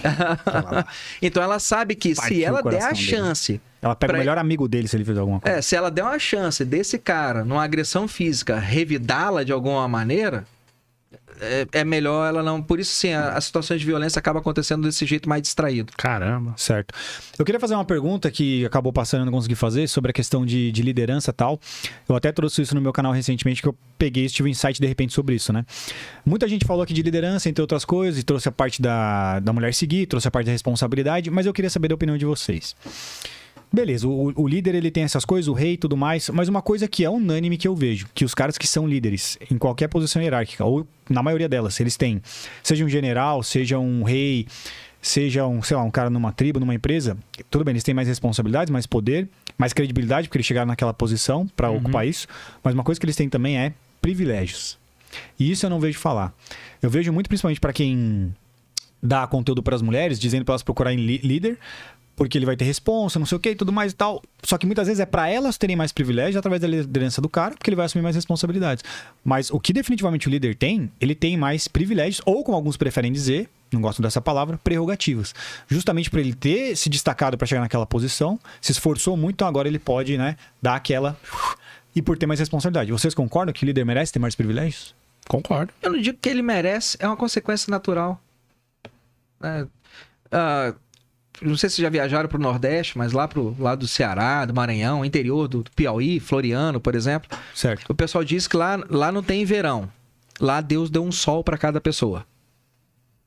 Você acha certo? No Nordeste as pessoas têm um sol para cada pessoa? Eu falo, não acho nem certo nem errado, é como é. É um calor da peste. Floriano tem... faz 40 graus de noite, cara. É como é. Sem ar-condicionado lá é terrível. É, é, é, é certo ou errado o, lei, o rei, o líder, o general ter privilégios. Não é nem certo nem errado, isso vem com o cargo, justamente porque ele está assumindo o risco, skin on the game, né? Igual certo. o Thomas Sowell fala. Ele está deixando a pele no jogo. Então é uma consequência natural. Mas eles têm. Você concorda que eles têm? Tem, tem, tem. tem. Não, não, não, não, não duvido disso. Né? O, o, cara vai ter o chofer, o cara vai ter o, o serviçal lá que traz a, a comida, a bandeja. Mas, em compensação, uh, se o serviçal tomar um. Vamos pensar uma, em, so, em sociedades mais agressivas, né? Um serviçal que colocar um pouco de sal a mais, ele pode escapar abatido. Mas um rei que declarar uma guerra errada e ele perder, provavelmente ele não vai sair dali vivo. Exatamente. Então o cara está colocando muita coisa em jogo. A expectativa de vida de um, de um camareiro num palácio provavelmente é bem maior que a do príncipe. Principalmente se ele for o irmão do meio ou mais novo. Até porque também vai ter muita inveja, né? é, é uma desgraça. Então, por que tem um ônus maior, tem, tem um privilégio? Porque ele está colocando muito mais coisa em risco. Sim, exatamente, prerrogativas. É uma coisa que se equilibra a outra, né? Então, consequentemente, eu, eu disse e eu acredito nisso, que o homem que é líder no relacionamento, ou as mulheres que querem um líder, que não é qualquer cara. Não posso chegar eu, por exemplo, e falar, eu sou um líder. O líder, o cara não pode chegar e falar, eu sou um general, merecer um general. Não, ele vai chegar naquela posição de acordo com o uhum. histórico uhum. de batalha dele. Isso. É a mesma coisa, o rei, o líder, é merecimento, é mérito. Beleza, esse cara conseguiu, ele é, a mulher tá com o líder. Esse cara tem que ser privilegiado. A mulher tem que entender que ele merece ser privilegiado. Aí que entra a parada não da privilégios, submissão. É, não Aí que entra a parada da mulher saber que, tipo, o cara tem a rotina dele, tem a vida dele. Não e, privilégios e é sexuais. Primeiro. Não tô falando é que ele primeiro. tem. Porque às vezes a mulher fala, ah, quer dizer que você vai comer outras por fora? Não, não. Aí Mas não, nada não custa. Disso. Nada custa, já que você é o rei, de você ir lá e estender. Pensa, aquela mulher dorme com você. Vamos pensar em termos de relacionamento romântico. Voltamos nisso. Certo. Aquela mulher dorme com você, você está numa posição absolutamente vulnerável, dormindo, enquanto ela está do seu lado, no quarto. Uhum. Vamos considerar que o grau de confiança que você está in investindo num relacionamento desse é muito grande. A não ser que vocês durmam em quartos separados e tranquem a porta. Mas vocês dormem no mesmo quarto, não, não deixe em segundo plano o grau de confiança que deve existir numa relação dessa.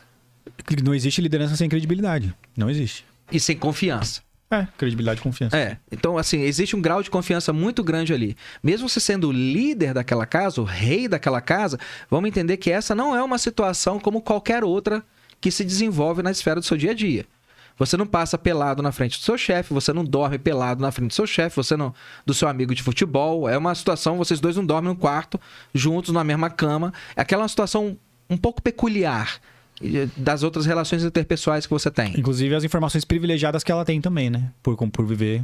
Exato. Então, concorde que mesmo você sendo líder do seu time de futebol, da sua equipe no trabalho, da sua carreira, da sua vida, da sua casa, do seu relacionamento, naquele elo específico de relacionamento interpessoal, ele tem também, per se, algumas prerrogativas que são é, exclusivas dele.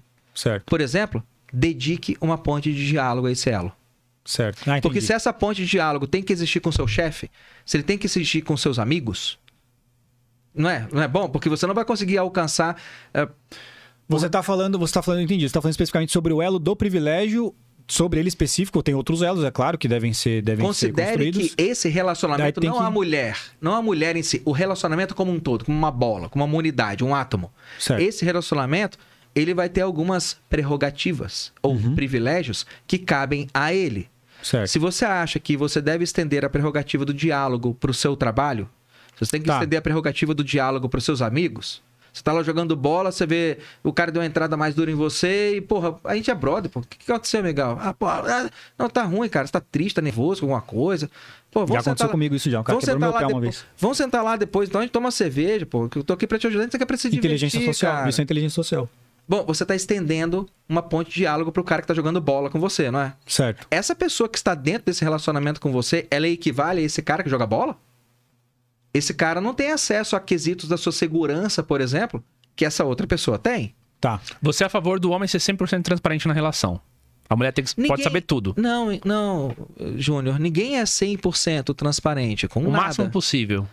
Em questões até que envolvem diria- dinheiro, patrimônio, Eu diria ser transparente, rede social. ser transparente o necessário.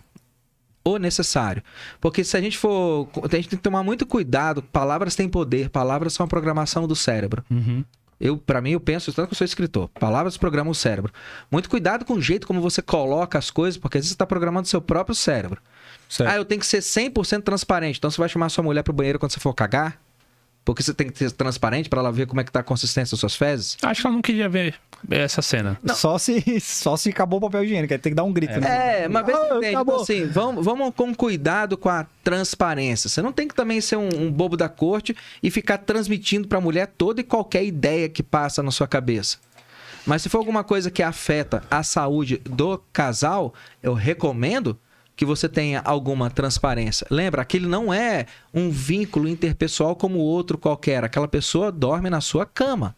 Boa. Principalmente, ela está na sua cama quando você está dormindo. E se você não der algumas, de novo, qui pro quo, se você não der algumas prerrogativas exclusivas para esse vínculo, você não pode reclamar que você não está recebendo alguns privilégios dele. Porque você dá, você recebe. Né? Respeito não é uma coisa, ah, porque você tem que me dar respeito. Não, ninguém vai te dar respeito, você também não vai conquistar respeito de ninguém, não. Respeito é um troço que você merece. E ele chega para você naturalmente. Você merece. Você pode fazer um excelente trabalho. Vocês dois fizeram, foram lá em casa e fizeram um excelente trabalho. Eu vou dar 100 reais pra ele, pra você vou dar 100 reais e meu respeito. E aí, é o mesmo dinheiro, né? Certo. Alguma coisa foi feita diferente ali, não foi? O respeito já é mais dinheiro, definitivamente também. Que é uma mas, coisa que eu tento mas fazer alguma, através da inteligência mas social. alguma coisa Teve foi uma feita. diferenciação. Porque vocês dois fizeram o mesmo serviço em casa. Alguma Uhum. coisa ele fez diferente. Competência, você, provavelmente. Tem. Como ele tratou, a inteligência emocional, se senhor ou não senhora, pois não, estamos aqui, qualquer problema que você tiver, olha. A alguma- base. É por isso que eu trouxe a importância da inteligência social. Por trás disso, desse, dessas circunstâncias que você trouxe, houve inteligência social, no caso dele. E na ponte do elo do privilégio, ou de qualquer elo no relacionamento, para haver o diálogo, antes do diálogo, tem que haver inteligência social do cara para que o diálogo seja feito da maneira que foi feito no respeito a esse caso também, para que ele receba de volta. Acho A base, por isso que eu quero trazer a duas- inteligência são social. Então, são as duas coisas. é, vamos, vamos deixar claro pro cara que assiste o vídeo, né? Porque a gente fica falando inteligência social. Tá, o que que é? Mostra pra mim na prática. Como é que é a inteligência social? Então, assim, você tem que ter inteligência social. Como é que eu vou expressar isso? Tratar as pessoas como você gostaria de ser tratado, praticamente seria isso. Ah, Tem muito a ver com isso.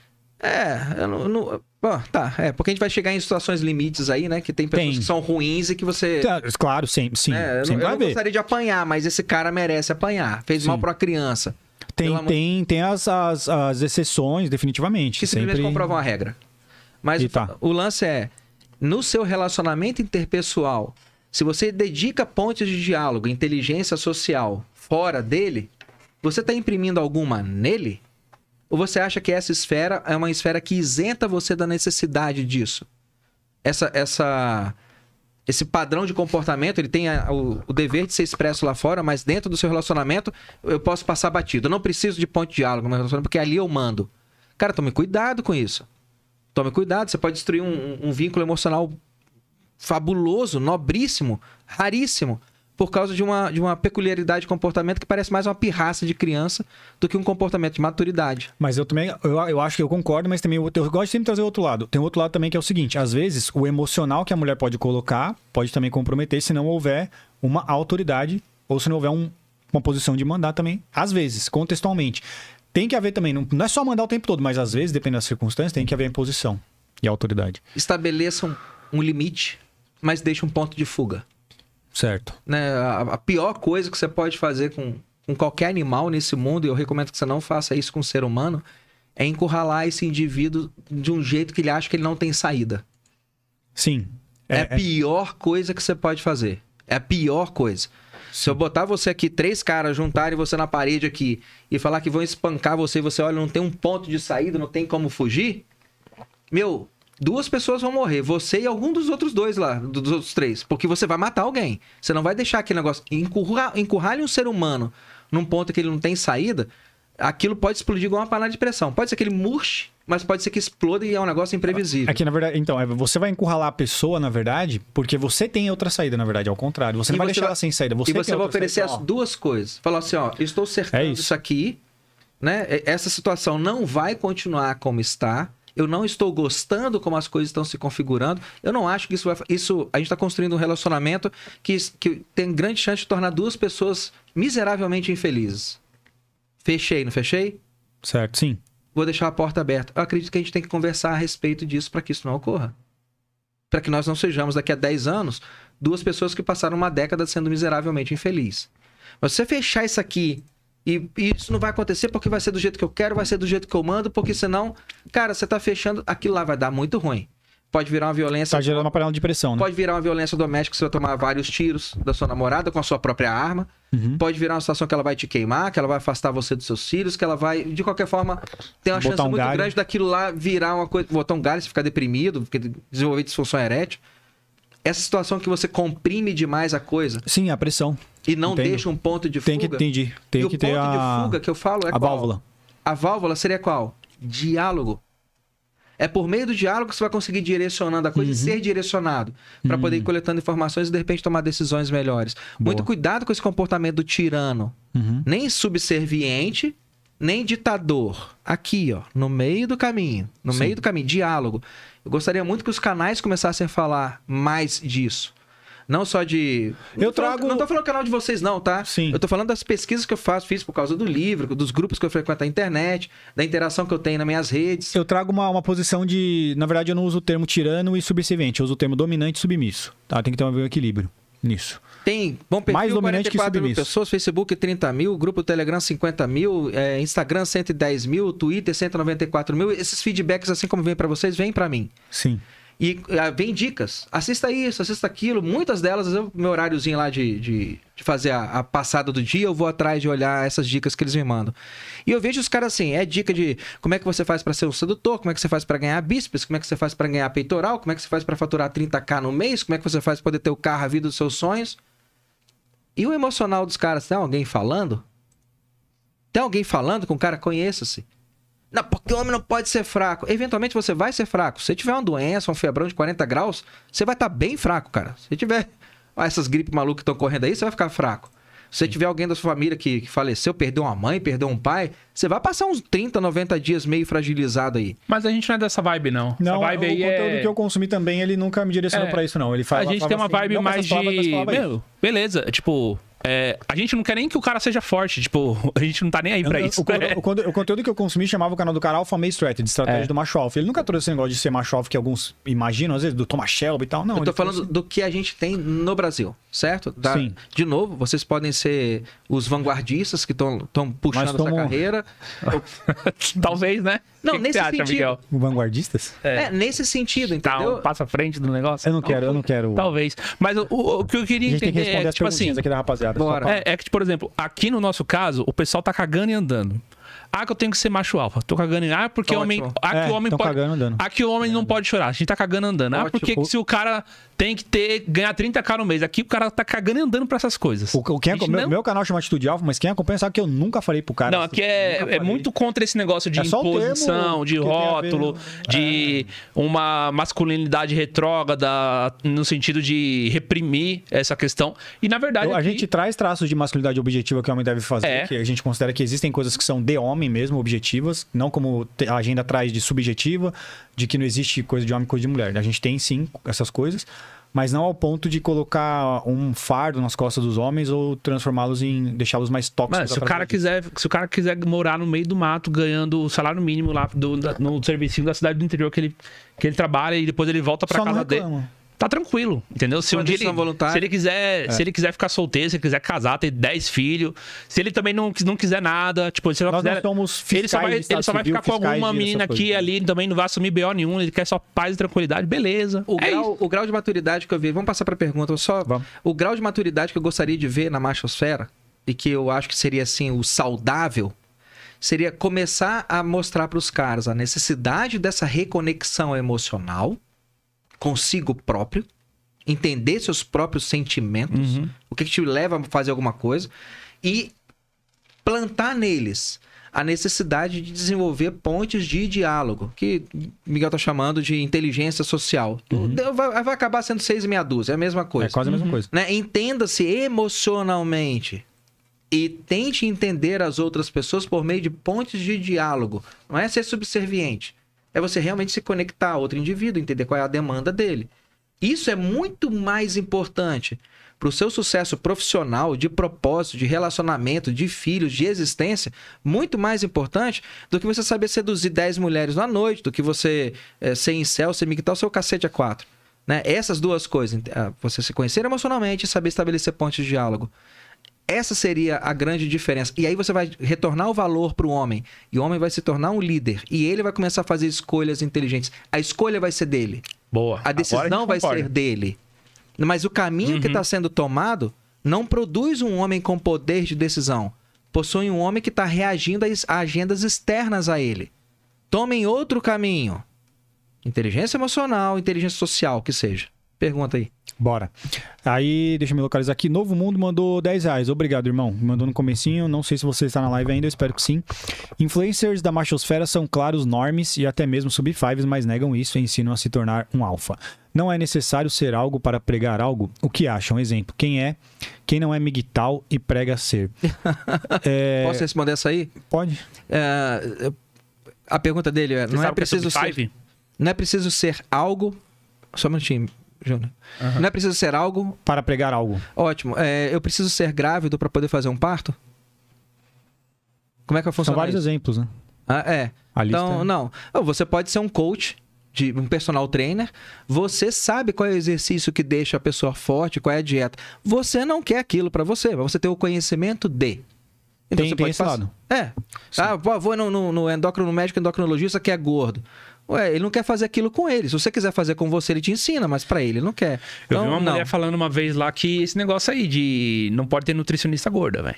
Eu, eu acho O que. que é uma eu- eu acho- bobagem, né? Foi a Eu acho- Lara, foi a Lara que falou isso. Pensa, acho então não não pode ter oftalmologista de óculos? Não, aí, aí então, eu acho que eu acho que assim existem existem os dois lados são válidos, a- o dele e o que você disse eu concordo com ambos. Tem que haver o outro lado também de definitivamente você acompanhar influenciadores que você tem que olhar para aquele cara e, e falar assim, acima de tudo, eu gostaria de ser como ele é em certa medida, eu gostaria de ter o que ele tem em certa medida, eu gostaria de sentir o que ele sente em certa medida. Se eu estivesse no lugar dele, eu me sentiria, eu gostaria de me sentir como ele está se sentindo. Deve sim ter essa perspectiva definitivamente. Agora, sobre o que ele falou aqui, é, é, especificamente sobre Sub-5 e se tornar um alfa, você quer aprender com o Shed, mano, você vai, você vai sentir, você vai, porra, que, Você acha que o Ted liga pra você pra te dar alguma coisa? Você, mano, você, tá louco. Você vai assistir um cara lindo, maravilhoso, falando, pegar mulher assim, não sei o que. você vai, Porra, eu sou feio pra caralho, velho. O que, que vai adiantar? Você é bonitão, meu. Não tem, você tem que ver o norme, cara, ensinando essas coisas. Que ele, É, passa, ele tá na sua pele, porra. Se você é um norme, é- é- essa é a realidade. É. Então, eu acho que é isso. E no final das contas, vamos, vamos ser bem sinceros, cara. O Shed você- você conhece? já catei Shed, Stacy. Ah, já já tirei, sei lá, corpo de dentro de um lago que tava morto lá há mais de sete dias. É, tinha que puxar com plástico, você não podia puxar pelo membro, porque senão saía igual carne cozida, né? Tinha que passar Sim. um plástico, entrar no, no, no- no ribeirãozinho lá e tirar. Você pode ser Shed, pode ser Stacy, você pode ser Norm, você pode ser Sub 5, o que for, bicho. O Norm Sub 5 você conhece também. Vai ser, vai- no final das contas, vai ser a mesma merda. Vai tudo. Mas só depois que morre, né? Caixão não tem gaveta. No momento que tá vivo, as coisas são bem diferentes. Aí pois é, então enquanto mandioca você é estiver mandada- vivo, Tudo isso vai tente determinar ser outra merda. A eficiência que você vai plantar mandioca ou não. Essas coisas. É, né? Tente, tente aproveitar a sua existência, que é um presente que Deus deu pra gente. Tente, tente aproveitar isso com sabedoria. Né? Não trate isso aqui de modo banal, não é nem de perto banal. Você tem uma atmosfera, tem um planeta, ter mitocôndrias que metabolizam oxigênio em 32,7 trilhões de células no seu organismo. Nada disso é banal. Nada disso é banal. Sim. Não trate isso como banal. Não, não, não vulgarize a experiência da existência em nome de valores tão pequenos quanto ah, eu sou norme, eu queria ser Aham, Shed. concordo. Porra, pelo amor de Deus. Tem coisa muito melhor na vida, porra. Vocês têm, sem dúvida. Os caras ficam com esse negócio. Concordo. Você acordou? Você abriu os olhos? Conseguiu É, sair da cama sem porra, ajuda? tá louco, Conseguiu velho. fazer necessidades Exato, eu fisiológicas pelos devidos buracos? Tem um teto, tem água saindo Ah, da mas eu torneira? sou 5, eu sou careca, não sei o que, mano. Isso eu também não gosto, não, cara. Porra, já falo isso. Eu falo, meu. Porra, tem gente que não tem perna, não tem braço, tem tanta coisa boa pra você fazer na vida, outras coisas, sabe? Fazer seu hobby, fazer uma arte marcial. Total. Tem coisa legal. Não, eu, falo, eu fiz um vídeo falando sobre isso. Pô, tem cara que gosta de um videogame, compra lá, vai se divertir, não fica só um Sub 5. Porra, vai se divertir com um Play 5, vai num restaurante legal, fazer uma viagem, dá pra você viver a vida muito bom, cara. Sim. Eu tenho um, certo problema com esse mundo game. Eu já fui em duas Brasil Game Show já. Você joga E- ou não? Não. Ah. E, cara, é gente pra caramba. Uhum. Mas era muita gente. Acho que no pavilhão lá devia ter o quê no dia que eu fui? Acho dar que tinha? Tá, esse final de semana 20. tá tendo a BDS. Tinha 20, É. 30 mil pessoas, era gente pra chuchu. Uhum. Eu tenho um, um, um pouco de, de receio, de restrição, porque eu vejo isso muito como fuga da realidade. Coisa de moleque. Ah, sim. Não, se tiver um jogo. Tem a fuga da realidade. Se tiver um jogo, Júnior, por exemplo, de repente você pode aprender muito sobre a história da, da Europa medieval por meio de um game. Uhum. Você pode aprender técnicas de defesa, estratégia, e aí por isso você desenvolveu algum grau de inteligência emocional. Fala, porra, eu tenho que esperar às vezes.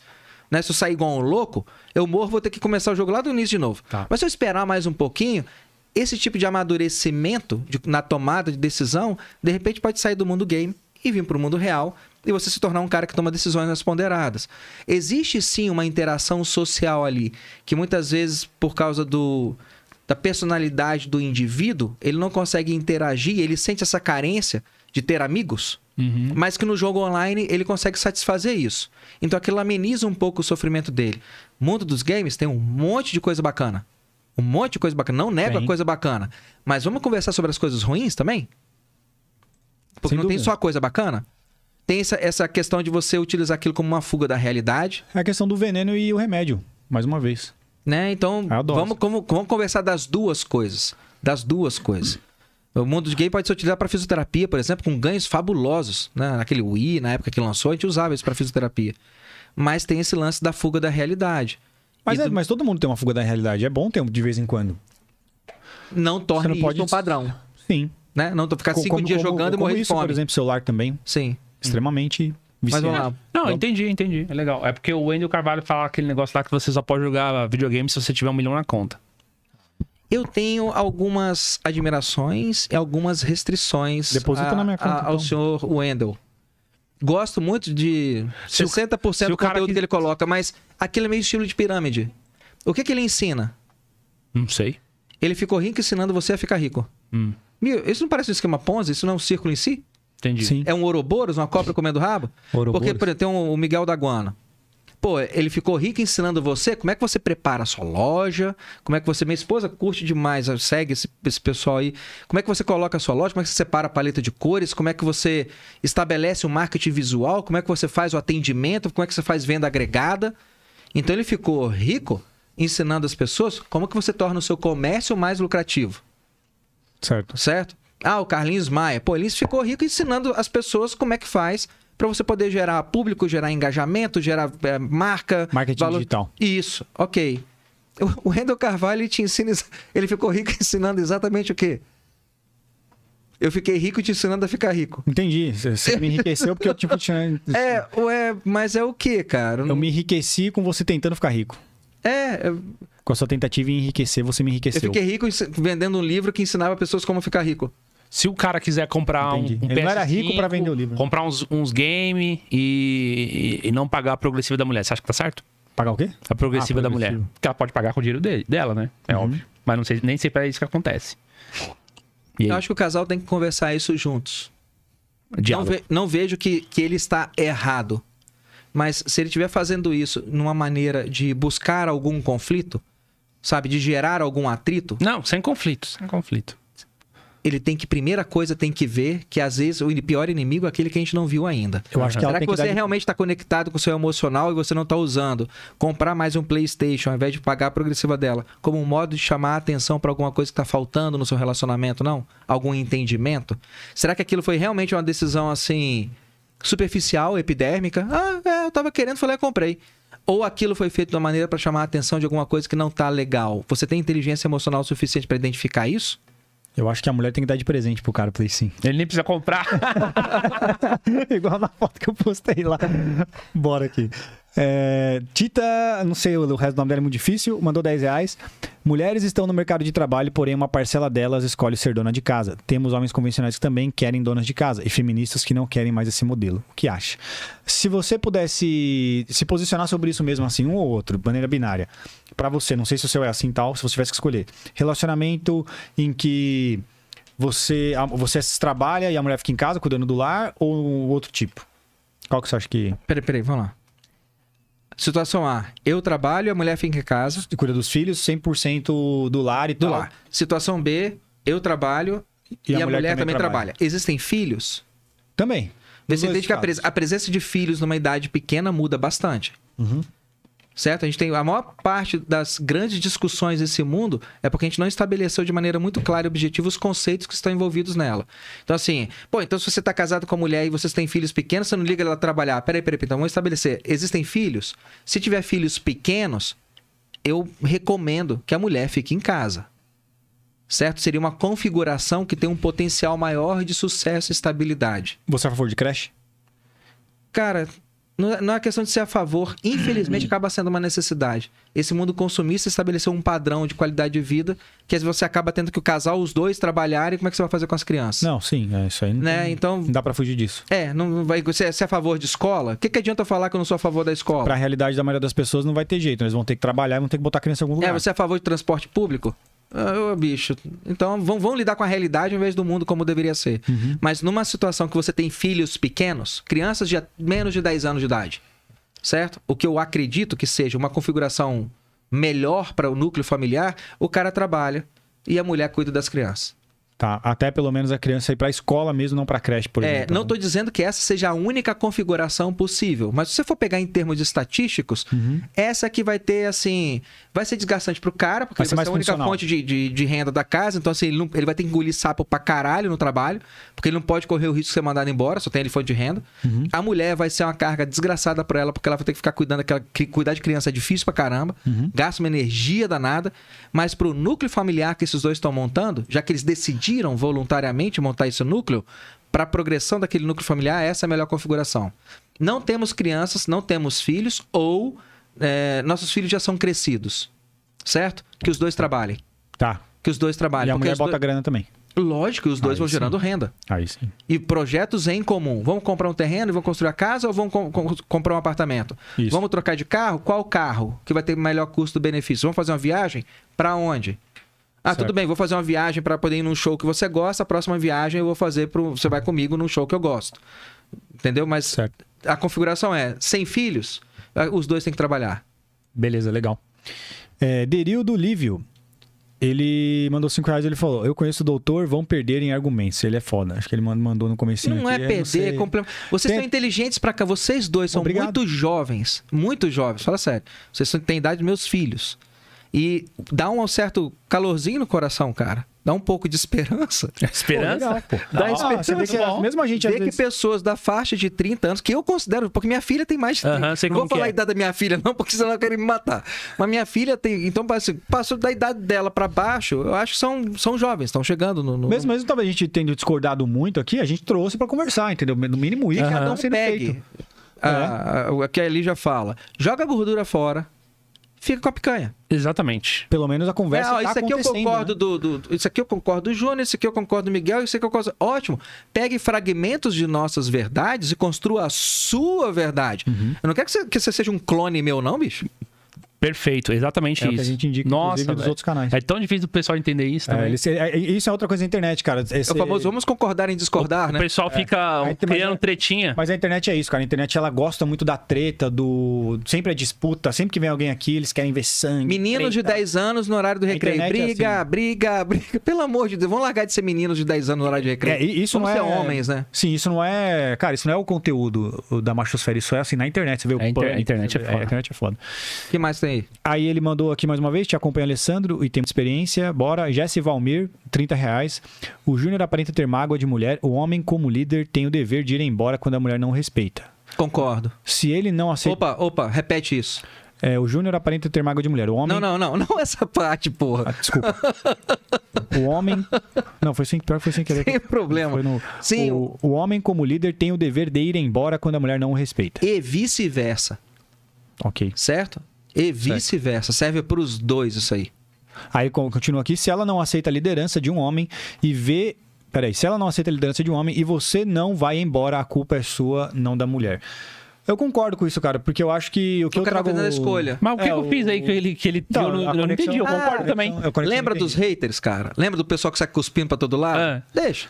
Se eu for prestar atenção nisso aí, Júnior. Não, eu, eu concordo. É isso- exatamente Alô? isso. Só que, na minha visão, é, é- é até antes, entendeu? Eu já dou o papo antes, né? Não é nem quando. Poucas ideias, mano. Não é quando. Ah, quando acontecer. Ó, tipo, isso daqui não pode acontecer. E pronto, acabou. Você não pode ficar com o Shed atrás da caçamba, tá me é, ouvindo? entendeu? Presta Você vai, atenção. você vai esperar Você o não negócio vai ficar- degringolar pra uma situação Não que é pode. desagradável. Ficar não, com você já tem que dar o papo antes. Mulheres, prestem atenção aqui. Ficar com o Shed atrás da caçamba, com o namoradinho no casamento, não pode. Aí eu vou, aí eu vou esperar, de repente, me, me- estar numa situação pra ficar é, desconfortável, me sentir desrespeitado, como ele falou, pra falar, ah, então vou embora. Então, É, mano, é. é, já dá o papo antes, entendeu? Tipo, ó, é isso ideias, aqui mano. e não funciona, pronto. Beleza. Mas algumas situações pegam a gente de surpresa, Júnior. Ah, o que algumas pega coisas. de surpresa, tudo bem, tipo, chegou uma coisa, sei lá, que você não pensou e tudo mais. Só que os caras também, tipo, é, sabe, às vezes o cara tem essa ânsia, ân- essa ânsia de não se impor pra não querer desagradar. E aí ele tá lá. Erro. Erro e aí ele tá lá, de repente, tá com a menina, a menina tá postando umas fotos que ele não tá gostando. Por que, que ele já não posicionou antes? Esperou chegar na situação. É, mas por isso, então, é o que eu- isso que eu falo. O homem, ele não engravida, ele é mais forte normalmente, ele é mais alto, ele tem a questão da testosterona. Cara, ele depende menos da mulher, geneticamente falando. É. E a mulher porque- depende mais do relacionamento, É, como a gente sempre porque, explicou. mano, você, você tem. É só você ir embora. Uma coisa que eu digo no meu canal, eu falo, muitas vezes o poder que a mulher tem é porque você permite que ela tenha aquele poder, cara. Você tá aceitando, seja desrespeitar, você assistir alguma coisa. Você está permitindo. Antes de você ir embora, por favor, converse. Sim, ah, tá. É. Porque- Diálogo. Porque às vezes, às vezes pode até parecer um negócio meio sadomasoquista isso aqui, né? Às vezes é esse pau na mesa que o Júnior tá falando que o cara tem que colocar que ela finalmente tava sentindo falta. Falou, Tem. Graças a Deus, o cara se comportou, ó, chega, hein? Essa Mas- merda aqui, não vou aguentar mais essa merda.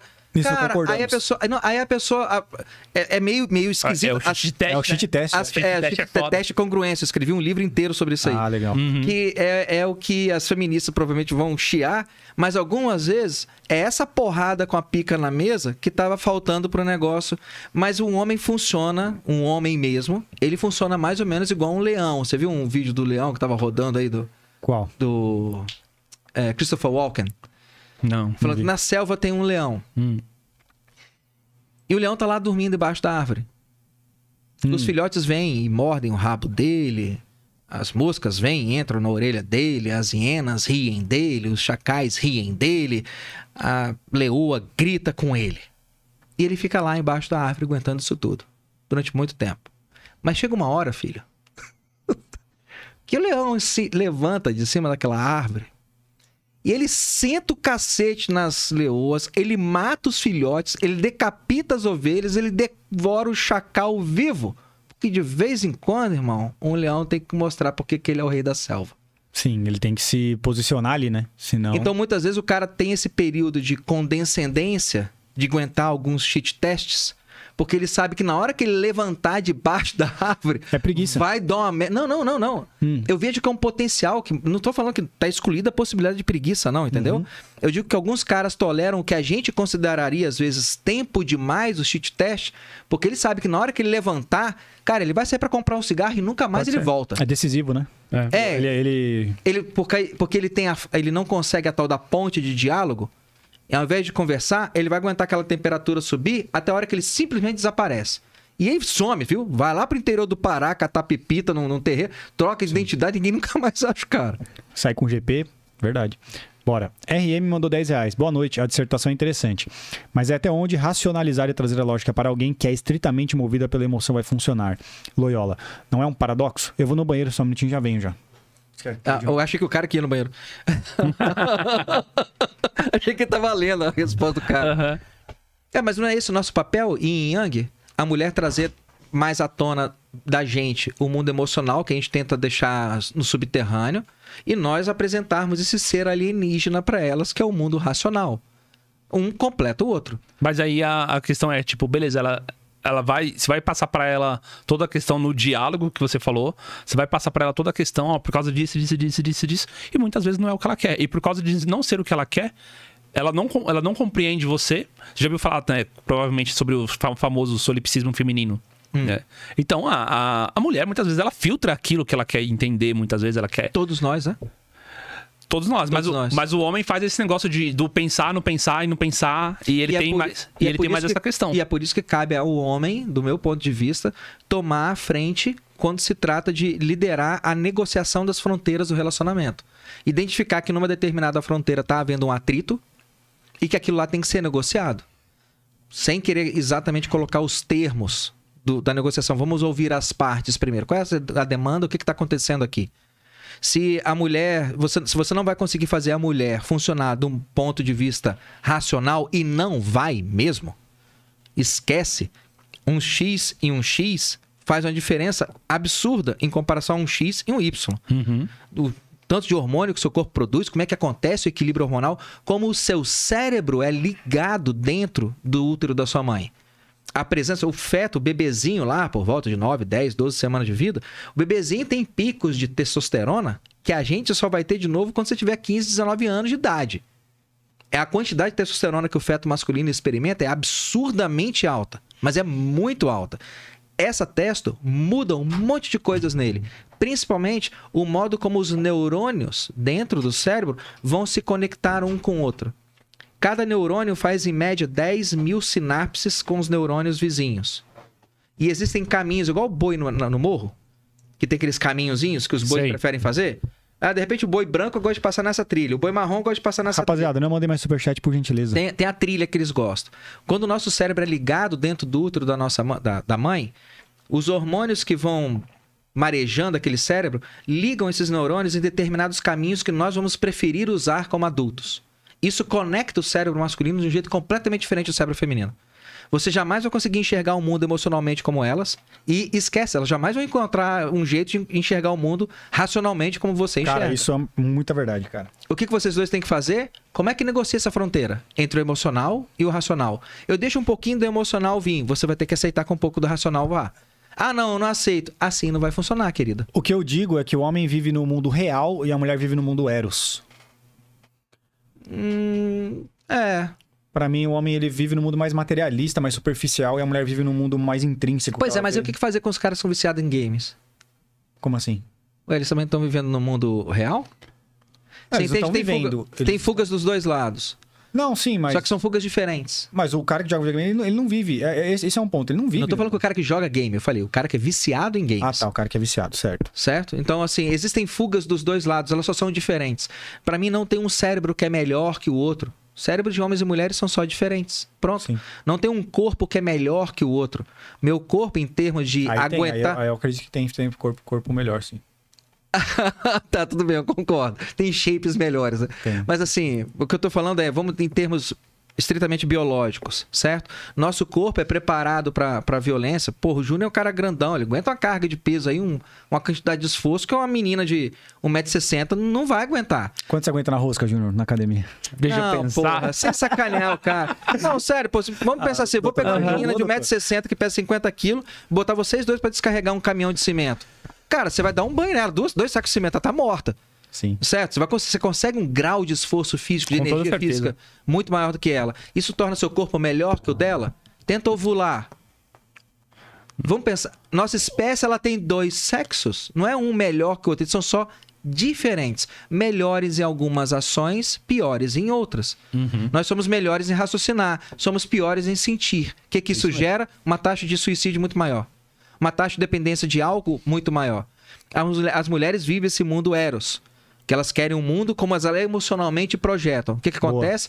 Índice de, de transtorno de ansiedade, insônia, uso de remédio ansiolítico muito maior em mulheres. Porque o mundo vai frustrar suas expectativas, filha. Se você continuar insistindo nisso, você vai começar a tomar fluoxetina para acordar e Rivotril para dormir.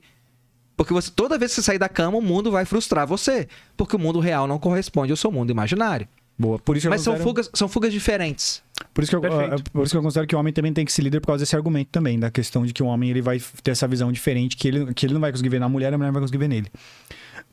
Beleza, próximo. Aí o, o Derildo Lívio, ele falou assim, doutor, te acompanho, o mesmo cara, te acompanho faz tempo, você destruiu a rede deles fácil. Não destruir, não, cara. Parabéns. Então, Aí ele mandou aqui de novo depois, doutor, você destruiu a rede deles, parecem pareceram mocinhas, ele falou aqui. períodos. Nós temos períodos diferentes. Deixa eu- Valeu. eu discordo do. Nós temos períodos Derildo. diferentes de amadurecimento, certo? Com 9 anos de idade. Não, vou botar um pouco mais novo, vai. Até onde eu, eu recordo. 6 anos de idade. Eu mijava na cama. Porra, você não tem vergonha, não? Eu tinha 6 anos de idade. Vergonha se- seria se com 30 anos de idade eu continuo mijando na cama. Seis anos eu não Pô. usava cueca, eu odiava usar cueca essa idade. com dois anos de idade, eu chupava chupeta. É, você é chupador de chupetex. Não, cara, era uma criança. Com sete anos de idade, oito anos de idade, se eu tirei uma nota ruim na escola, ou se eu arrumei uma confusão, briguei com os colegas. Quando eu fui conversar com meu pai e minha mãe, eu chorei quando eu fui falar a respeito disso. Ah, você chorou? Falou, pô, eu tinha 7 anos de idade. é. Quando eu tinha 15 anos de idade, eu terminei um namoro e aí fiquei deprimido três meses. Foi o primeiro namoro, nunca tinha tido experiência nesse, nesse mundo, foi minha estreia, eu não sabia lidar com aquele. Então vamos devagar, são pessoas em estágios diferentes, né? Vocês são muito novos ainda. Algumas experiências faltam para vocês. Faço votos de que vocês passem por elas, que vocês passem de um modo muito digno, pelo, pela bagagem de conhecimentos que vocês estão entrando nela, que é humilhantemente maior que a minha. Quando eu tinha a mesma idade de vocês. Quisera assim? eu, Ah, o conhecimento? com 29 e 31, eu tivesse a bagagem que vocês têm. Não, fato, pô, tem um podcast. Eu não- eu tem, não porra, tinha. Horas de conteúdo. É... É, eu não tinha. Sem dúvida. Uhum. Então, Só mas fato. existem experiências que vocês vão passar. Então não destruir ninguém, não, filho. Fala sério. É isso Mas o, o camarada aí tá, Tá tá, emocionado. tá emocionado. Fica tranquilo, amigão. Mas se você quiser voltar outros episódios aí pra mandar mais superchat, tamo junto. Obrigado, Derildo, é nóis. Deixa eu atualizar aqui, que acho que tem um do Thiago Visoto só. Mano, os caras os cara zoam muito no chat. O cara mandou um negócio que eu ia falar, mas é muito engraçado, cara. O que, que o Thiago Visoto mandou? o Thiago Visoto, ele falou assim, mandou 10 reais. É. É, obrigado, Thiago. Doutor, eu nunca namorei porque sou sub-5. Sub-5 é o feio, né? Assisto animes, frequento eventos de animes e tenho travesseiro de tamanho real de um personagem. Qual a Ai, idade cara. dele? Estou fugindo da realidade. 22. Mano, Não, deve, deve ter uns 24. eu tenho um travesseiro de tamanho real de um personagem, só porque Não, quebrou, não, velho. não, não. Vamos, vamos pegar um pouco da empatia do caramba, Jordan mano. Peterson, né? Vamos pegar um pouco da empatia. Nossa senhora. Imagina, se, imagina, é porque vocês são. Não chegaram lá. Imagina se é seu filho, cara. Imagina o sofrimento que o menino desse tá passando. Nossa, se ele apanhar com esse, eu ia bater nele com esse travesseiro. Se essa. Se essa realmente é a situação do E, cara. Tá merecendo umas palmadas. Uma surra de travesseiro de Faltando personagem. pai nessa vida aí, Porra, velho. mano. Se essa realmente Nossa é a, Senhora, a, a situação. Se é- não é, se não é uma, um meme, pronto. Eu né? acho que Se ele tá não é- zoando. Se não é uma situação de, de Acho que é um meme. comédia, comédia, pronto. Mas vamos dizer que alguém tá numa situação dessa, uma situação parecida. Cara, procura acompanhamento com psicólogo, procura acompanhamento com médico, dosa seus hormônios, muda um pouco suas companhias, vai puxar um pouco de peso e começar a tomar um, um- outro rumo. pra despertar. Eu não digo que o cara pode estar numa situação dessa, mas de repente você pode ser traduzindo em termos de game, do cara ser introvertido, do 28 cara. anos ele mandou, ele tem. É, Caralho. Pelo menos ele não tá com a GP hoje, né? Tá, creio que não, tá com o travesseiro abraçado assistindo o podcast. Mas bom, se essa é a situação do rapaz, eu recomendo que ele reveja se é isso que ele quer pro futuro dele. E se Boa. não for, que ele mude algumas atitudes, começa um grãozinho de grãozinho, É. começa acompanhando o canal Submundo Intelectual, o canal Atitude alfa. Atitude Alfa, que de repente a partir dali ele vai receber algumas gotas desse leite nutridor. Aí vai estar. Eita. Pronto, eu tô sacaneando com o cara. Depois do. Aquele que, que ele receba boas ideias, vai. Beleza, é isso aí. Muito legal. Muito obrigado, doutor, pela sua participação, prestigiar nosso programa. Uma ideia federal hoje foi aquela ideia que veio, voltou, veio, voltou. É. Foi muito bacana esse, esse episódio mais acalorado, assim a gente gosta de, de confronto de ideias, né? É, estamos com 2 horas e 50 minutos. Nosso tempo é até 3 horas, então muito bom aqui o tempo. Respondemos todas as perguntas da Vamos galera. mostrar o livro dele, né? Isso. É, o livro dele tá aqui, rapaziada. Vejam só vocês. Sendo um homem, cinco bússolas para a masculinidade. Tá aqui, ó. Livro bonitão, capa preta. Livro grosso, páginas bem preenchidas, ó. Mostrar para vocês. É, doutor, a gente esqueceu de pedir no começo. Passa por gentileza suas mídias e como localizar, como comprar o livro. Ah, coloca meu nome lá no, no No Insta? Insta, no. Não sei se eu tô em Shadowban no Insta, mas no Twitter. Nessas redes todas aí, Facebook, vai ter lá o meio de contato. E quem quiser, quiser adquirir direto com a gente é o Whats 6199 606 2308. Vamos. 6199 61 é o DDD ou não? É. 61 6199 606 2308. É só entrar em 2308. contato lá com a equipe. Orientação, terapia de reposição de texto, aquisição de Ah, legal, obras, pô. livros. Entre em contato com a gente que dá pra ver. De repente, dentro de um ano, o cara consegue jogar o travesseiro de anime dele fora. Vou fazer uma Muito reposição bom. de texto Já dá pra ele ser macho alfa? para consulta. Eu não entendi por que você não gosta do macho alfa. Eu acho macho Não é, não é que eu não. hora. Eu não, Júnior, não é que eu Para não gosto. Eu acredito que dá pra você ir além disso. Além do alfa. Boa. Agora. certo? Além, como eu falei, são. pa- são Se bem que alfa tá, tá em decadente. Agora já é Agora mais é homem de alto valor, né? Não, acho que não. Não? Qual que tá agora? O Shed é o que tá em alta, eu acho. Não, eu falei assim. Ah, sim. O Shed, Além do. Sim, o Shed bem mais. o Shed bem mais que o homem de alto Ninguém mais que o quer ser alfa, não. Mas teve a alfa dá fase do- trabalho. é. Melhor nascer Shed que. Tranquilo. alfa. Ou, ou ser nasce, tem Ser alfa dá trabalho pra porra, É, gente. vai, vai se trancar no banheiro com a fita métrica pra ver a proporção da mandíbula, né? Claro, velho. Entendeu? Terrível. Tem, tem isso, viu? Jesus amado. Entendeu? isso, viu? De online, De olhar de caçador. Tem isso aí, Que verdade. bobajada sem tamanho. A mulherada gosta, velho. Você Não, eu acho legal, assim, o, a curiosidade, mas é o que É falou. além- o extremo, é além- assim, tal. Aí É já- além da, da mulherada. Seus amigos te admiram, te dão respeito. Seus filhos têm orgulho de- do homem que você se tornou. Sua mãe olha pro, pro filho e fala assim: Eu entreguei um bom ser humano pra esse, pra Com esse toda mundo." certeza. Entende? É, é mais do que o, o, o olhar de caçador e o Mas de o olhar olhar- caçador é importante. Hunter. Whatever. Senão vai. ninguém estaria fazendo aí a harmonização facial, velho. Mas a harmonização É que nem facial não o, mexe o pessoal no olhar falou, de mano, ah, beleza, é fútil, mas a natureza é fútil. Eu gente. raspo minha barba no, no pet shop, uso um óculos fundo de garrafa, corto meu cabelo no, no chuveiro aqui com pressor barba seca, que arranca um pedaço de pele e fica sangrando. Você acha que eu tô preocupado em fazer harmonização facial, bicho? Porra, velho. Aí não tem. Aí, aí né? não, não. Tô preocupado em comprar minha CRF, mano. Que é quase o preço da minha É outra moto já? A CRF é a patrulha mesmo, né? É? Pra jogar no mato mesmo. É, eu tive uma Boulevard de uma- M800. Eu tive moto durante muito tempo. Numa viagem pra. Mas a Boulevard é estradeira, né? É, sair de. Acho maneira também. Sair de Caraguatatuba pra Palmas, no Tocantins. Eu ia fazer uma viagem rodando pelo Triângulo Mineiro, subir e descer pelo Espírito Santo. Eu já tive uma Virago já, 250. Então, a ida eu moto- consegui fazer. É, essa moto ela é outra coisa, né? Porque você sente igual uma poltrona, né? Então é confortável pra viagem. Mas moto desse estilo off-road não tem condições. Qualquer moto é confortável desde que você não caia. O tombo que eu levei me custou 10 ossos e um pulmão esmagado. Com essa moto? Caramba. Nossa, mas você tava abusando, meu. Porque essa moto ela é muito segura. Pneuzão quase de carro. Toda moto é segura e toda moto é confortável Mas- desde que mas- você mas não caia. Não, tudo bem. É simples assim. Mas e é se mais você tem fácil moto, por você que vai cair. Eu nunca caí Ô, de moto. Bom, vamos aguardar o final da sua existência. Ih, caramba. Porra, acabamos o programa com Não tô, falando praga. que você vai, não tô falando que você vai cair, jogar maldição do Ah, vampiro. mas da- é, andando, andando a quantos quilômetros por hora você tava também? Não tava correndo, devia estar uns 70, 80. Ô, louco. 60, não tava isso tudo não, tava devagar. Na estrada era uma estrada meio vicinal, Hum. mas o fato é, não tô falando que você vai cair de se quebrar não, mas sabe uma quedinha que machucou um tornozelo, que, pô, você teve que colocar um antipóia no, no- não teve que colocar pino nem nada, mas ficou com antipóia no braço, o, o- o ombro ficou meio zoado. Cara, vai acontecer. Meus amigos todos caíram. Três amigos meus quebraram o fermo com moto. Vai acontecer, vai acontecer. é- é moto Rezo pra que não seja nada grave. Mas você achar que não, vou andar de moto, nunca vai acontecer nada. Vai acontecer. É, tem que tomar cuidado. Né? Eu dirijo, nunca bati. Então você vai bater um dia. É, carro já Bateu um bati. dia. Tomara que não seja quebrou um faroletezinho, uma coisa besta, mas você vai Vai bater. bater, vai bater. Mesmo Carro que você não bati. queira. Boa. Eu ia falar alguma coisa, mas eu esqueci. Mas acho que é isso, rapaziada. Despedir, né, da rapaziada. É, muito bom, tô muito satisfeito. Obrigado pela audiência de todos. Tamo junto. Obrigado mais uma vez, doutor, pela sua participação, pela presença ilustre. Obrigado pelo presente, pelo Obrigado livro. pelo presente. Eu esqueci o que eu ia falar, infelizmente. Então é isso. Boa noite a todos aí. A gente se vê na próxima. Valeu, galera. Aproveita pra né, acompanhar aí. A gente tem as redes sociais aí. O canal do Miguel, é só clicar no arroba Atitude Alfa que tá aí na descrição. Sobre o mundo intelectual, tem o nosso canal de cortes pra você acompanhar os melhores momentos dessa conversa. Uhum. E obrigado a todo mundo que se inscreveu aí. Estamos ao vivo aí no próximo sábado. Próximo sábado. É. Partiu Vazari. Valeu, galera.